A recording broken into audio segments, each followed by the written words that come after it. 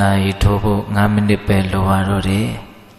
မြတ်စွာဘုရားဟောကြားတော်မူခဲ့တဲ့တရားဒေသနာတော်တို့ကိုတဏှာကြီးပူပူလောက်အချိန်ယူပြီးတော့နာယူကြည်ညိုကြနှလုံးသွင်းမှတ်သားကြရအောင်ဒီကနေ့သာသနာတော်နှစ်2558ခုနှစ်ကောဇာတကိ1385ခုနှစ်ပြာသူလာပြည့်ကျော်9ရက်2014ခုတလပိုင်း 20ရက်နေ့ညချမ်းအခါကာလမှာမွန်ပြည်နယ်မော်လမြိုင်မြို့ပရိယတိဓမ္မဗိမာန်တော်ကြီးဖွင့်ပွဲနှင့်ရေသက်ချပွဲအကျိုးဖြစ်ဖြင့်ဆင်းရဲကျင်းပကြတဲ့စုပေါင်းဓမ္မောဇတရားဓမ္မသဘင်မှာဦးဇင်းတို့ဒီကနေ့ညပေးသက်ပေါင်းသူတော်ကောင်းတို့ကိုမြတ်စွာဘုရားဟောကြားတော်မူခဲ့တဲ့တရားဒေသနာတော်တို့ကိုဟောကြားခွင့်ရပါတယ် ပေးသက်ပေါင်းသူတော်ကောင်းတို့လည်းပဲမြတ်စွာဘုရားဟောကြားတော်မူခဲ့တဲ့တရားဒေသနာတော်တို့ကိုနာယူကြည်ညိုခွင့်ရကြတယ်ဒီတော့ဒီကနေ့ညတရားနာရောက်ရှိလာကြတဲ့ပေးသက်ပေါင်းသူတော်ကောင်းတို့ကိုဦးဇင်းတို့ဗတရားဟောမှလည်းဆိုလို့ရှိရင်ခုတ်တကနိကေဓမ္မပရပါဠိတော်ယမကဝတ်မာလာရှိတဲ့တာရိပုတ္တထေရဝိထုဂါထာယေ ဇာတကအထကထာကဏ္ဍဇတ်မာလာရှိတဲ့ဘုရားလောင်းတော်သူမြတ်ကြီးရဲ့စကားတော်တွေကိုအခြေခံပြီးတော့အနှစ်သုံးပါးတရားတော်လို့တရားကောင်းစဉ်ပြီးပြီးတော့ပေသက်ပေါင်းသူတော်ကောင်းတို့ကိုအရင်တို့ဟောပါမယ်ဒီတရားကိုဟောရခြင်းရဲ့ရည်ရွယ်ချက်ကဒီကနေ့ညဦးဇင်းတို့ပြောမယ့်တရားစကားတွေ အလုံးနိဗ္ဗာန်ပိသက်ပေါင်းသူတော်ကောင်းတို့သိကြပြီးသားတွေကိုဦးဇင်းတို့ပြောမှာပါမသိသေးတာတွေကိုပြောမှာမဟုတ်ဘူးเนาะ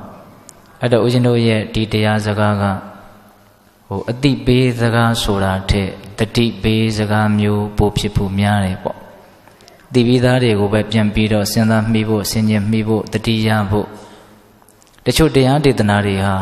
အလွန်မှကောင်းပါတယ်စိတ်ထဲမှာလည်းပဲအလွန်မှကြိုက်တယ်နှစ်သက်တယ်သဘာဝကျတယ်ဆိုပြီးတော့စိတ်ထဲမှာအလွန်လက်ခံတယ်ပေါ့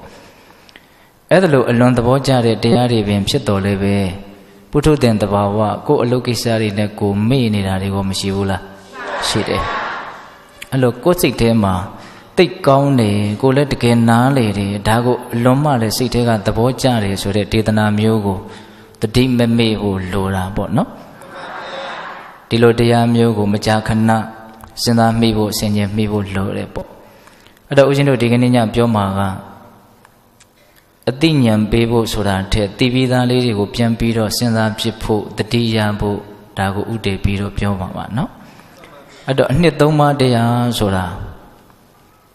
လောကမှာ ဘယ်ရာကတန်ဖိုးရှိတယ်ဘယ်ရာကတန်ဖိုးမရှိဘူးလို့ခွဲခြားပြီးတော့နားမလည်ဘူးဆိုလို့ရှိရင်တကယ်တန်ဖိုးရှိတာကိုမရနိုင်ဘူးတဲ့တန်ဖိုးရှိတာကိုရကျင်တယ်ဆိုလို့ရှိရင်အစကနဦးဘယ်ရာကတန်ဖိုးရှိတယ်ဘယ်ရာကတန်ဖိုးမရှိဘူးဆိုတာတော့တော့ခွဲခြားပြီးတော့နားလည်ဖို့အရင်အရေးကြီးတယ်ပေါ့နော်တန်ဖိုးရှိတာရဲ့တန်ဖိုးမရှိတာရဲ့ကိုခွဲခြားပြီးတော့နားလည်ပြီးမှသာလျှင်တန်ဖိုးရှိတာကိုရယူနိုင်ဖို့ဖြစ်နိုင်တာ တန်ဖိုးမရှိတာကိုစွန့်ပယ်နိုင်ဖို့ဖြစ်နိုင်တယ်ပေါ့တန်ဖိုးရှိတာရဲ့တန်ဖိုးမရှိတာရဲ့ကိုမှခွဲခြားပြီးတော့မသိသေးဘူးဆိုရင်တန်ဖိုးရှိတာကိုရယူနိုင်ဖို့ဆိုတာမဖြစ်နိုင်သေးဘူးဒါကြောင့်တန်ဖိုးရှိတာကိုရကျင်ကြတဲ့တရားဓမ္မတို့ဦးဇင်းတို့တွေအနှစ်သာရရှိတာကိုရကျင်ကြတဲ့တရားဓမ္မတို့ဦးဇင်းတို့တွေပထမဦးစွာဒါကအနှစ်ရှိတယ်ဒါကအနှစ်မရှိဘူးဒါကတန်ဖိုးရှိတယ်ဒါကတန်ဖိုးမရှိဘူးဆိုတာကိုခွဲခြားပြီးတော့နားလည်ဖို့မလိုဘူးလား လို့တယ်အဲ့ဒါဦးဇင်းတို့ဒီကနေ့ပြောမှာကဘယ်ရာကတန်ဖိုးရှိတယ်ဘယ်ရာကတော့တိတ်ပြီးတော့တန်ဖိုးမရှိဘူးဘယ်ရာကတော့တကယ်အနှစ်သာရရှိတယ်ဘယ်ရာကတော့တကယ်အနှစ်သာရရှိတယ်လို့မဆိုနိုင်ဘူးဆိုတာကိုဘုရားမှုရှိတဲ့အရိယာသူတော်ကောင်းကြီးတွေရှုမြင်သုံးသပ်သွားတာကိုအခြေခံပြီးတော့ဒါဦးဇင်းတို့ပေးသက်ပေါင်းသူတော်ကောင်းတို့နာယူကြည်ညိုကြရမယ်ပေါ့နော်အနှစ်သုံးပါတရားတော်တဲ့ ဒီတရားဒေသနာတော်ကိုမဟောကြားသေးခင်မနာကြသေးခင်မှာတရားတော်အလုံးကိုဟောကြားတော်မူခဲ့တဲ့ဘုရားရှင်ကိုတော်မြတ်ရဲ့အင်မတန်အေးချမ်းကြည်လင်တော်မူတဲ့မဟာကရုဏာကိုသိစေအားတရားလုံးစုံကိုသိတော်မူမြင်တော်မူတဲ့သဗ္ဗညုတဉာဏ်ဒီဟုသောပညာကို ထိုမဟာကရုဏာကိုပညာကိုနှစ်ပါးစုံတို့ဖြင့်ပြည့်စုံတော်မူတဲ့ဘုရားရှင်ကိုယ်တော်မြတ်ကိုယုတိမြတ်တို့ရှိခိုးပူဇော်ကြအောင်စို့အလုံးလက်အုပ်ချီမှုပြီးတော့အာယုံပြုကြရအောင်ကရုဏာတိတလဟရယံပညာပိဇောတဝိယတမောဟဓမ္မသာနရမရလောကကရဝန္တိဒုက္ကတံဂတိဝိမု ක්ත ံက ရုဏာတိတလဟရယမဟာကရုဏာတော်ဖြင့်အေးမြသောစိတ်နှလုံးလည်းရှိတော်မူပါဘိထသောပညာပိဇောတဝိဟတမောဟဓမ္မအရဟတမတိဟုသောအယံဝလင်းဖြင့်ဝိဇ္ဇာတိဟုသော မိုက်မောင်ကိုဖယ်ခွာတော်မူဘိထသောသာနရမရလောကကရုံလူနတ်မြမတတဝနန္တတို့ဤ ကြောက်တီတန်တုလေးကရုပြုရာတဆူရီသောဆရာသခင်လည်းဖြစ်တော်မူပါဗေထသောဂတိဝိမု ക്ത ံဒေဝမနုဿာနိရယနှင့်ပေတတရိစ္ဆာလာယရှိငါတန်သောဂတိတို့မှလိဒုသဖြင့်ကင်းလွတ်တော်မူပြီထသောဒုက္ကတံတတဝါတို့အားအကျိုးများကြောင်းဟုတ်မှန်သောစကားကောင်းကိုသာမျက်ဆိုတော်မူပါပြီထသော ဗုဒ္ဓံသစ္စာလေးရတရားမြတ်ကိုလက်ပေါ်တင်ထားပရမကဲ့သို့ပြတ်သားထင်းနှင်းသိမြင်ပေတတ်ဘုရားရှင်ကိုယ်တော်မြတ်ကြီးကိုမေယံတရားဟောပုဂ္ဂိုလ်တရားနာပုဂ္ဂိုလ်ခေါ်ဆိုပညပရမမမူယုံနာနှဖျားဖြစ်ကြပါသောဘုရားတပည့်တော်တို့သည်ဝနေဝနာမကာယဝစီမနောချီသုံးဤဒွါရပနာမဖြင့် ဒုက္ခယောကျိုးလက်ဆုံးမောဃရှိခိုးဥညုပါဤမြတ်စွာဘုရား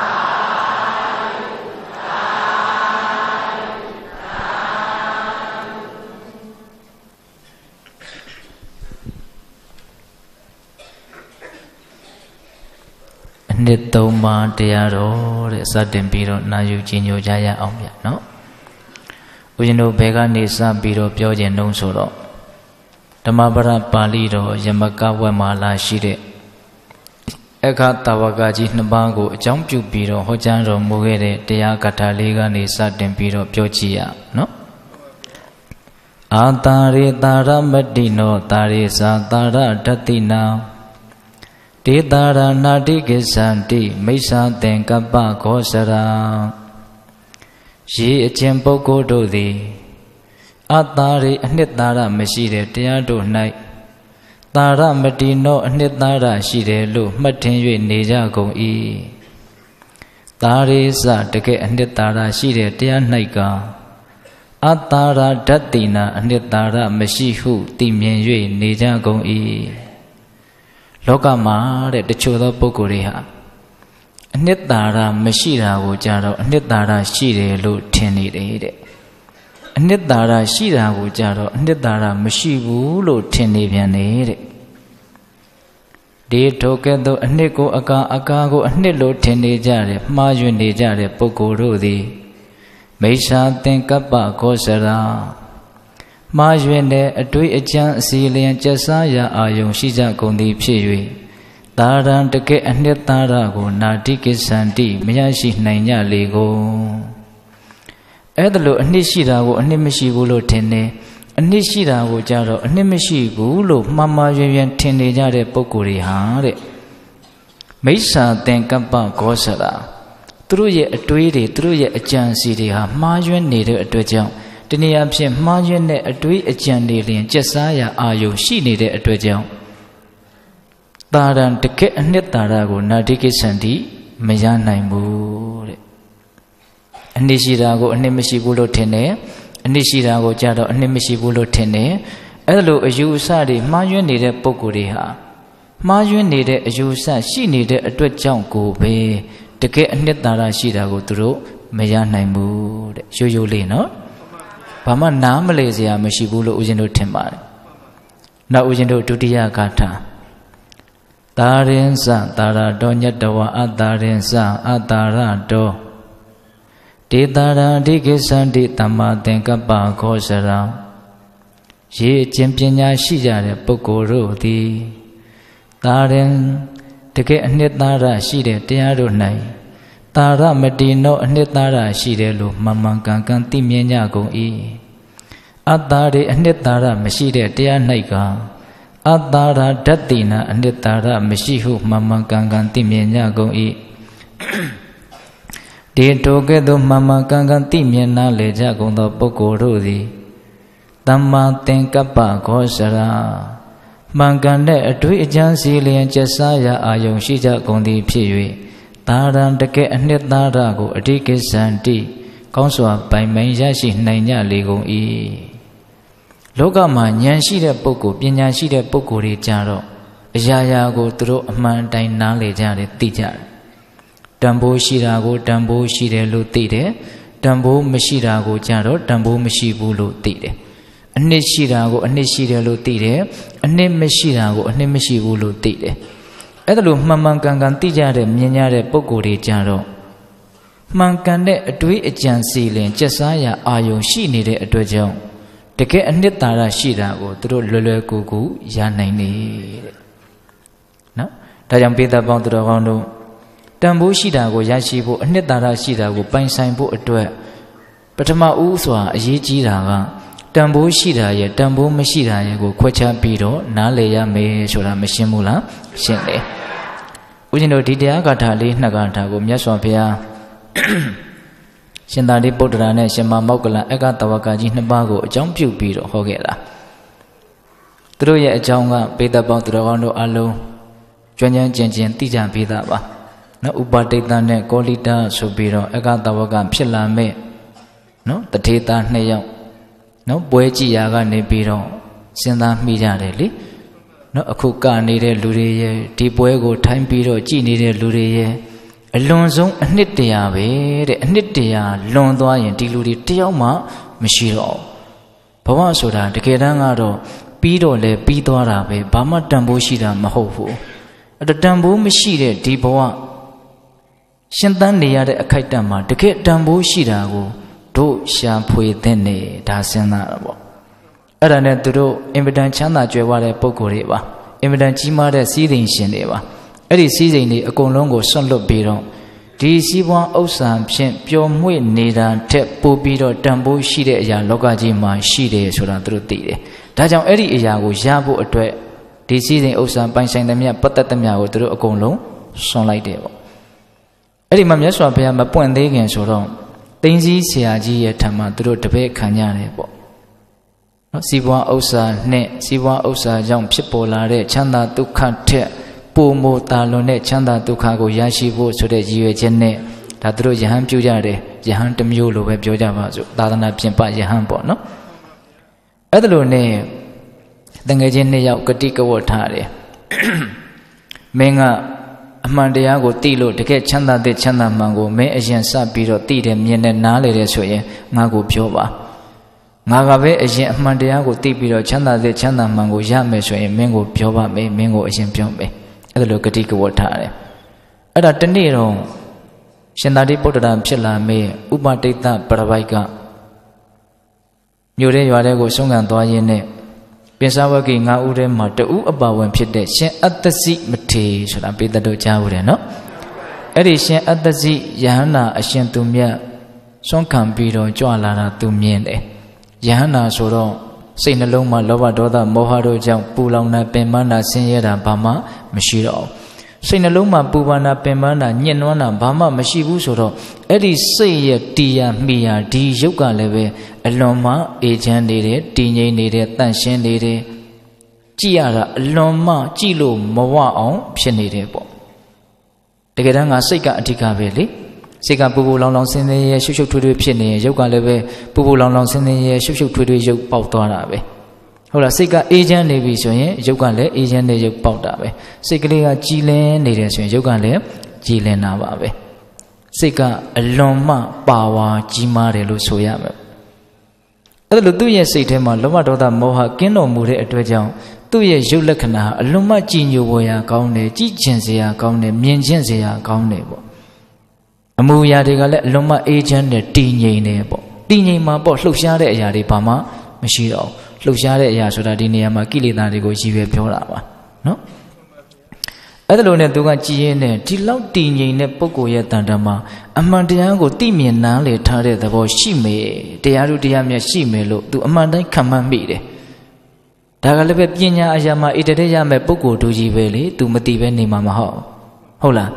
အဲ့ဒါနဲ့အဲ့ဒီရှင်အတ္တစီမထေနောက်ကိုလိုက်တယ်အရှင်ဘုရားအရှင်ဘုရားဘုစုရဲ့တပည့်လေအရှင်ဘုရားဘာကိုသိတယ်လဲမေးတာပဲ အဲ့တော့ငါဒီချိန်မှာဆုံးခံနေတဲ့အချိန်ဆုံးခံပြီးတော့ပြန်လာလို့ဆုံးဖုံးပေးပြီးရင်မေးချင်တာမေးလို့ရတယ်ဆိုတော့လိုက်တာပဲအဲ့ဒါဦးဇင်းတို့ဇေယျပေါ်ရောက်တော့အေးစီစီမေးတယ်ပေါ့အရှင်ဘုရားရဲ့ဆရာကဘုစုလဲအရှင်ဘုရားတို့ကဘလို့အယူဝါဒရှိသလဲအဲ့ဒီမှာရှင်အတ္တစီကယေဓမ္မာဟေတုပ္ပဘဝတေတံဟေတုတထာဂတောအာဟတေသင်္စာယောនិရောဓဧဝံဝန္တိမဟာတမနောတဲ့ လူရင်းအတိတ်ပဲပြောရရင်တော့တစ္ဆာလေးပါးကိုဟောတာပါပဲလောကကြီးမှာဖြစ်ဖြစ်သမျှနော်တဘာဝတရားတွေဟာအကြောင်းတရားရှိလို့ဖြစ်တာအကြောင်းတရားသာမရှိရင်ဘလို့အကျိုးတရားမှဖြစ်မှာမဟုတ်ဆိုလိုတာကဆင်းရဲတယ်ဆိုတဲ့ဒီဒုက္ခနော်ဒီအကျိုးတရားတွေဟာအလိုဆန္ဒလောဘသမှုရိယသစ္စာဒီအကြောင်းတရားကြောင့်ဖြစ်တာအကယ်၍အကြောင်းတရားကိုသာချုပ်ဆုံးအောင်လုပ်နိုင်မယ်ဆိုရင်ဒုက္ခဆိုတဲ့ဒီအကျိုးတရားတွေဟာလည်းရပ်ဆိုင်သွားမယ်။ သစ္စာလေးပါးကိုဟောတာပါပဲ။အဲ့ဒါကိုလည်းနားလဲပြီးရောဟိုပထမနှစ်ပါးဓာရဲ့အဆုံးမှာသောတပတိမဉ္ဇဉ်ကိုရတယ်။အလွန်ဉာဏ်ထက်တယ်ပေါ့ပြောလိုက်လို့ရှိရင်အရေးပြရဲ့အကောင်မြင်တယ်စိတ်ထဲမှာတထွားပြရင်တလန့်မြင်တယ်။အဲ့ဒါလောက်လေးပြောတာနဲ့ तू သိသွားတယ်။အဲ့တော့အရှင်ဘုရားအစာတုံးကရှင်အတ္တတိကငါကအခုမှယဟန်ပြုတ်ပြီးခါသာတရားကိုငါအများကြီးမပြောတတ်ဘူး အရှိကြီးမပြောတတ်ဘူးလို့ပြောသေးတယ်အဲ့တော့ရှည်တာတွေများတာတွေကဗဒါနာမဟုတ်ပါဘူးတကယ်အကျိုးအကြောင်းစိုက်ပြီးတော့တဘာဝကြဖို့အကျိုးရှိသွားဖို့ကဗဒါနာပါအဲ့တော့တူတူလေးပဲပြောလိုက်တာပဲအဲ့ဒီတူတူလေးကပဲအကျိုးကိစ္စပြီးစည်းတယ်လို့မဆိုနိုင်ဘူးလားဆိုနိုင်တယ်အဲ့ဒါသောတပတိမဉ္ဇဉ်ဘုံဉဏ်ကိုရတော့အရှင်ဘုရားဆိုင်းမအောင်တပည့်တော်သိပြီးမြင်ပြီတဲ့တပည့်တော်မှာသိရင်မြင်ရင်အရင်လက်ဥပြောရမယ်ဂတိကဝတ်ထားတဲ့တငယ်ချင်းတယောက်ရှိသေးတယ် သူ့ကိုသွားပြီးတော့တပည့်တော်ပြောအောင်မှဖြစ်မယ်အဲ့ဒါနဲ့ရှင်မမောက္ကလံဖြစ်လာမဲ့ကောလိတပရဝိုက်စီကိုရောက်လာတယ်ကောလိတကလည်းပဲဉာဏ်ရှိတဲ့ပုဂ္ဂိုလ်ပဲ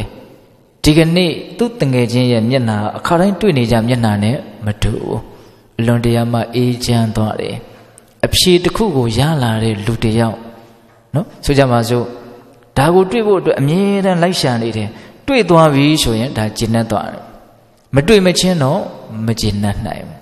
ရှားနေတာမတွေ့ဘူးဆိုမှတော့ဘယ်လိုလုပ်ကျင့်တတ်နိုင်မလဲဟုတ်လားကိုရှာတဲ့အရာတွေ့သွားပြီဆိုရင်စိတ်ထဲမှာကျင့်တတ်သွားတယ်အဲ့ဒီကျင့်တတ်သွားတယ်ဆိုတဲ့ဒီအမူအရာဒီသဘောတဘာဝဟာမျက်နှာပေါ်မှာပေါ်လွင်နေမယ်ပေါ့အဲ့တော့ဒီဒီပုဂ္ဂိုလ်တရားသူတရားမြတ်ကိုရလာဟန်တူတယ်ဒီနေ့တစ္ဆာတရားအမှန်တရားကို तू နားလေခဲ့ဟန်တူတယ် तू ကလည်းအကက်ခတ်မိတာပဲဟုတ်လားအဲ့ဒါနဲ့ မေးတဲ့အခါကျတော့ဟုတ်တယ်တဲ့ငါမသေးတရားကိုငါရခဲ့ပြီသူတို့ကမသေးတဲ့တရားလိုက်ရှာကြတာကိုနော်စီးပွားဥစ္စာကြောင့်ဖြစ်တဲ့ချမ်းသာဒုက္ခထက်တာလွန်တဲ့ချမ်းသာဒုက္ခကိုလိုက်ရှာကြတာကိုနော်အဲ့တော့အဲ့ဒီတရားငါရခဲ့ပြီဆိုတော့အဲ့လိုဆိုရင်ငါ့ကိုလည်းပြန်ပြောပြပါဆိုတော့နော်ဥပဒိတပရဝိကပြန်ပြောပြတယ်စောတော်ကသူနားထောင်ခဲ့ရတာကို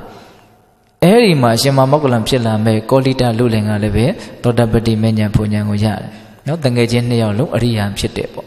ကဲအဲ့လိုဆိုလို့ရှိရင်တို့ဆရာမြတ်စွာဘုရားကြီးကိုသွားကြမယ်အေးအဲ့လိုသွားမယ်ဆိုလို့ရှိရင်တို့အပေါ်မှာအလွန်ကျေးဇူးများတဲ့တင်းကြီးဆရာကြီးကိုလည်းတို့သွားခေါ်မယ်နော်ဆရာကြီးလောကမှာတကယ်အမှန်တရားတစ္ဆာတရားဆိုတာဒါတကယ်ချမ်းသာစေချမ်းသာမှန်ကိုရာချောင်းတရားဆိုတာဒါ အဲ့ဒါကိုတို့ပြပြလဲလဲပြောပြီးတော့သွားခေါ်မယ်ဆိုပြီးတော့သွားကြတယ်ကိုရောက်တော့သူတို့ကနောက်လိုက်အချံရနေအလွန်များတယ်တပည့်အများကြီးရှိတယ်ဒီဥပါဒိတနဲ့ကောလိတကတကယ်တမ်းကတော့သူတို့တပည့်တွေကိုပဲမှီပြီးတော့တင်းကြီးဆရာကြီးကနေနေရတဲ့သဘောရှိပါတယ်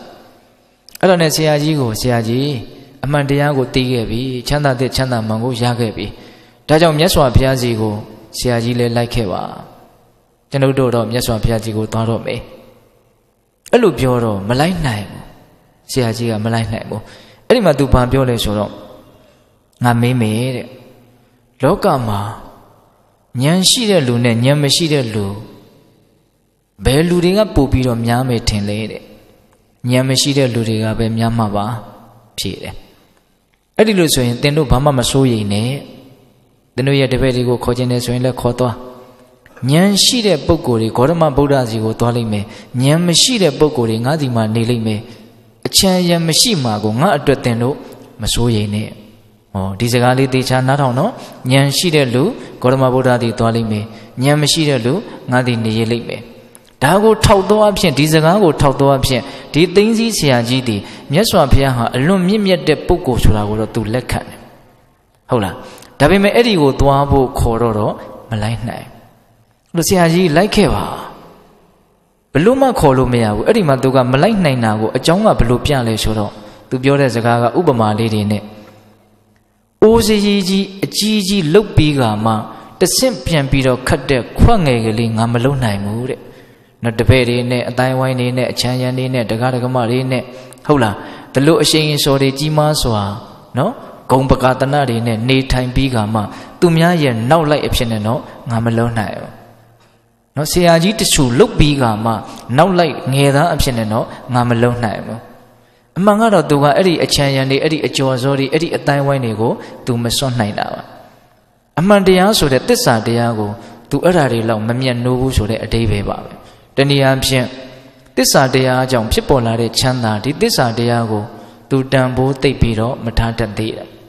ဒီအချမ်းရံတွေဒီအတိုင်းဝိုင်းတွေဒီနာမည်ကြီးမှုတွေဒီဂုံဒီတရက်တွေကိုပဲသူက တန်ဖိုးရှိတယ်လို့ထင်နေတာကိုဒါကြောင့်သူဟာအဲ့ဒါကိုမစွန့်နိုင်ဟုတ်လားတကယ်ဆိုရင်သူ့စိတ်ထဲမှာမြတ်စွာဘုရားဟာအလွန်ဉာဏ်ကြီးတဲ့ပုဂ္ဂိုလ်ဆိုတာလက်ခံထားတယ်ဆိုတာစောစောကစကားကိုထောက်တော့အဖြစ်မသိနိုင်ဘူးလားသိနိုင်တယ်ဘုရားဒီသွားရင်အလွန်အကျိုးရှိမယ်ဆိုတာကိုလည်းသူလက်ခံထားတာကိုတော့လက်ခံထားတယ်လို့ဦးဇင်းကတော့စဉ်းစားကြည့်မိတယ်ပေါ့ဒါပေမဲ့အဲ့လိုဆိုရင်သွားပါတော့လားဆိုတော့မသွားနိုင်ဘူးဘာလို့မသွားနိုင်တော့ တန်ဖိုးရှိတာရဲ့တန်ဖိုးမရှိတာရဲ့သူခွဲခြားပြီးတော့နားမလဲသေးဘူးအနှစ်သာရရှိတာရဲ့အနှစ်သာရမရှိတာရဲ့ကိုသူသိပြီးတော့မခွဲခြားတတ်သေးဘူးလို့မဆိုနိုင်ဘူးလားဆိုနိုင်တယ်တကယ်အမှန်တရားသစ္စာတရားကိုသိတဲ့အသိဉာဏ်ဒီတန်နဲ့လောကကြီးမှာတန်ဖိုးအရှိဆုံးဆိုတာကိုသူနားမလည်သေးဘူး။နော်ဒီအကျော်စောဒီအချမ်းရံဟုတ်လားဒီအတိုင်းဝိုင်းကိုပဲသူတန်ဖိုးထားပြီးတော့ဒီထဲမှာပဲနစ်မွန်းပြီးတော့နေရစ်တယ်ဆိုတဲ့အဓိပ္ပာယ်။အဲ့ဒါနဲ့ဦးဇင်းတို့ ဒီသူ့ရဲ့တပည့်ဟောင်းနှစ်ယောက်ကခေါ်တာကိုသူမလိုက်တော့ဥပဒိတနဲ့ကောလိတပြပိုက်နှစ်ဦးကသူ့ရဲ့တပည့်တွေကိုသူတို့ရဲ့တပည့်တွေကိုကဲတင်တို့လည်းပဲလိုက်လို့ကလိုက်ဒီမှာနေရခြင်းနဲ့ဆိုရင်လည်းနေရလို့ရတယ်ဆိုတော့ဘယ်ဆရာတွေသွားတော့ဘယ်တွေကလိုက်တာပေါ့နော်ဟိုရောက်တော့အဲ့ဒါမြတ်စွာဘုရားကအလုံးကိုထိုက်တဲ့ဩဝါဒတရားဖြင့်ချီးမြှောက်တော့ဆိုဆုံးမှတော့အဲ့ဒါရက်ပိုင်းအတွင်းမှာပဲ နော်အရတ္တမညာအရတ္တဖို့ညာကိုရလို့ဥပဒိတပရပိုက်ကရှင်သာရိပုတ္တရာဆိုတဲ့နော်တာရိပုံနေမရဲ့တာမို့လို့တာရိပုတ္တရာဆိုတဲ့နာမည်နဲ့အခတာဝကံဖြစ်တယ်ပေါ့နော်ကောလိတာကတော့ရှင်မာမောက္ကလံဆိုပြီးတော့ဒါလက်ဝဲရံအခတာဝကဖြစ်တယ်ပေါ့အဲ့ဒီမှာရှင်သာရိပုတ္တရာကမြတ်စွာဘုရားကိုလျှောက်တယ်မြတ်စွာဘုရား တစ္ဆာတရားကိုသူတို့စပြီးတော့သိရတော့မြတ်စွာဘုရားကြီးကိုသွားဖို့အတွက်သိသိဆရာကြီးကိုသူတို့ခေါ်ခဲ့တယ်တဲ့ဒါပေမဲ့ तू မလိုက်နိုင်ဘူးသူ့ရဲ့အချမ်းရံသူ့ရဲ့အကျော်စောတွေကိုသူမစွန့်နိုင်ဘူးအိုးစီကြီးလုတ်ပြီးကမှခွက်ငယ်ကလေးမလုံနိုင်ဘူးခေါင်းဆောင်ကြီးလုတ်ပြီးကမှနောက်လိုက်မလုံနိုင်ဘူးလို့အဲ့လိုပြောလွတ်တယ်အဲ့လိုမြတ်စွာဘုရားကိုရှောက်တော်မှာမြတ်စွာဘုရားက ယခုနကပေဒပေါင်းသူတော်ကောင်းတို့ကိုဦးဇင်းတို့အကြံမြင်လေးအတိတ်ပဲပြောခဲ့တဲ့ဂါထာလေးနှစ်ပုဒ်ကိုအဲ့ဒီမှာဟောတယ်နော်အတ္တာရိတာရမတိနောတာရိစာတာရတတိနာတေတာရနာတိကိစ္ဆန္တိမိစ္ဆာသင်္ကပ္ပခောစရာဒါကအနှစ်သာရဒါကအနှစ်သာရမဟုတ်ဘူးလို့ခွက်ခွက်ခြားခြားနားမလဲကြတဲ့ပုံကိုယ်တွေကအတွေးအကြံတွေမှားနေတဲ့အတွက်ကြောင့်တကယ်အနှစ်သာရရှိတာကိုမရနိုင်ဘူးဟုတ်လား အနှစ်သာရမရှိတာကိုအနှစ်သာရမရှိဘူးလို့သိတယ်အနှစ်သာရရှိတာကိုလည်းပဲအနှစ်သာရရှိတယ်လို့သိတယ်ဆိုရင်တော့မှန်ကန်တဲ့အတွေးအကြံစီတွေကြက်စားရအာယုံရှိတဲ့အတွက်ကြောင့်အဲ့ဒီပုံကိုယ်တွေကတော့တကယ်အနှစ်သာရကိုရနိုင်တယ်လို့အဲ့ဒီမှာဟောတယ်တာရင်စတာရတော်ညက်တော်အတ္တရင်စအတ္တရတော်တေတာရအဓိကိစ္ဆန္တိတမ္မာသင်္ကပ္ပခောစရာဒါကြောင့်ပိသပေါင်းတော်ကောင်းတို့ မြတ်စွာဘုရားရဲ့သာသနာတော်မြတ်ကြီးနဲ့တွေ့ရကြုံရတဲ့လူဘဝဆိုတဲ့အင်မတန်ထူးခဲ့တဲ့အနေအထားကိုအင်မတန်ကြီးမားတဲ့အခွင့်အရေးကိုရရှိနေခိုင်းမှာတကယ်အနှစ်သာရရှိတာတကယ်တန်ဖိုးရှိတာကိုရယူပိုင်ဆိုင်ဖို့အရေးမကြီးဘူးလားအရေးကြီးတယ်အဲ့ဒါလိုတကယ်အနှစ်သာရတကယ်တန်ဖိုးရှိတာကိုရယူခြင်းနဲ့ပိုင်ဆိုင်ခြင်းနဲ့ဆိုလို့ရှိရင်လည်းပဲတန်ဖိုးမရှိတဲ့အရာကိုတန်ဖိုးမရှိဘူးလို့နားလည်ဖို့လိုတယ်တန်ဖိုးရှိတာကိုလည်းတန်ဖိုးရှိတယ်လို့နားလည်ဖို့မလိုဘူးလားလိုတယ် အေးအဲ့ဒီလိုအပ်ချက်ကိုပေတပေါင်းတော်တို့ဒါဆက်ပြီးတော့ဒါဦးဇင်းတို့ပြောကြမယ်ပေါ့ဆက်ပြောမှတွေလည်းပဲပေတပေါင်းတော်တို့တည်ပြီးသားတွေကိုပြောမှပါနော်ဘယ်ကနေဦးဇင်းတို့ယူပြီးတော့ပြောမှလဲဆိုတော့950မှာကဏ္ဍဇတ်ဆိုပြီးတော့ရှိတယ်နော်ဦးဇင်းတို့တောင်မှသူတော်ကောင်းတို့ရဲ့သဘောထားဆိုပြီးတော့ခေါင်းစဉ်လေးပေးပြီးတော့ဟောထားတဲ့တရားလေးအဲ့ဒီကဏ္ဍဇတ်မှာဦးဇင်းတို့ဘုရားလောင်းကအင်မတန်ချမ်းသာကြွယ်ဝတဲ့အမျိုးမှလူဖြစ်တယ် မွေးဖွားလာတဲ့အခါမှာအသားအရေကအနှဲငယ်မြမဲတဲ့အတွက်ကြောင့်ကဏ္ဍတတိုးသာမောင်မဲလို့အဲ့လိုနာမည်ပေးတယ်နောက်တော့မိဘတွေကွယ်လွန်နေဆာရောက်တော့ဒီမိသားစုဒီအတိုင်းဝိုင်းကိုနော်အုပ်ဆိုးပြီးတော့နေတယ်ပေါ့အဲ့လိုနဲ့နောက်တော့နော်ပါရမီဓာတ်ခံကလည်းရင့်ကျက်လာတယ်လို့ဆိုရမယ်အတွေးအခေါ်တွေကလည်းပဲမှန်ကန်တယ်လို့ဆိုရမယ်ပေါ့ဘာစဉ်းစားလဲဆိုတော့ဓာတ်ထက်ချမ်းသာတဲ့ ဓာတ်ထက်ကောင်းတဲ့အနေအထားတစ်မျိုးဓာတ်ထက်ကောင်းတဲ့ချမ်းသာကိုငါမရနိုင်ဘူးလားရနိုင်တာပေါ့ရနိုင်တယ်ဆိုရင်ငါရှာဖို့လိုတယ်အဲ့ဒီမှာဓာတ်ထက်ကောင်းတာကိုရှာလိုတဲ့စိတ်နော်လူဆိုတာအဲ့ဒီစိတ်ဓာတ်ကတော့ရှိတဲ့တယ်လို့ထင်တယ်ကိုကိုကိုပို့ပြီးတော့ကောင်းတဲ့ကောင်းအောင်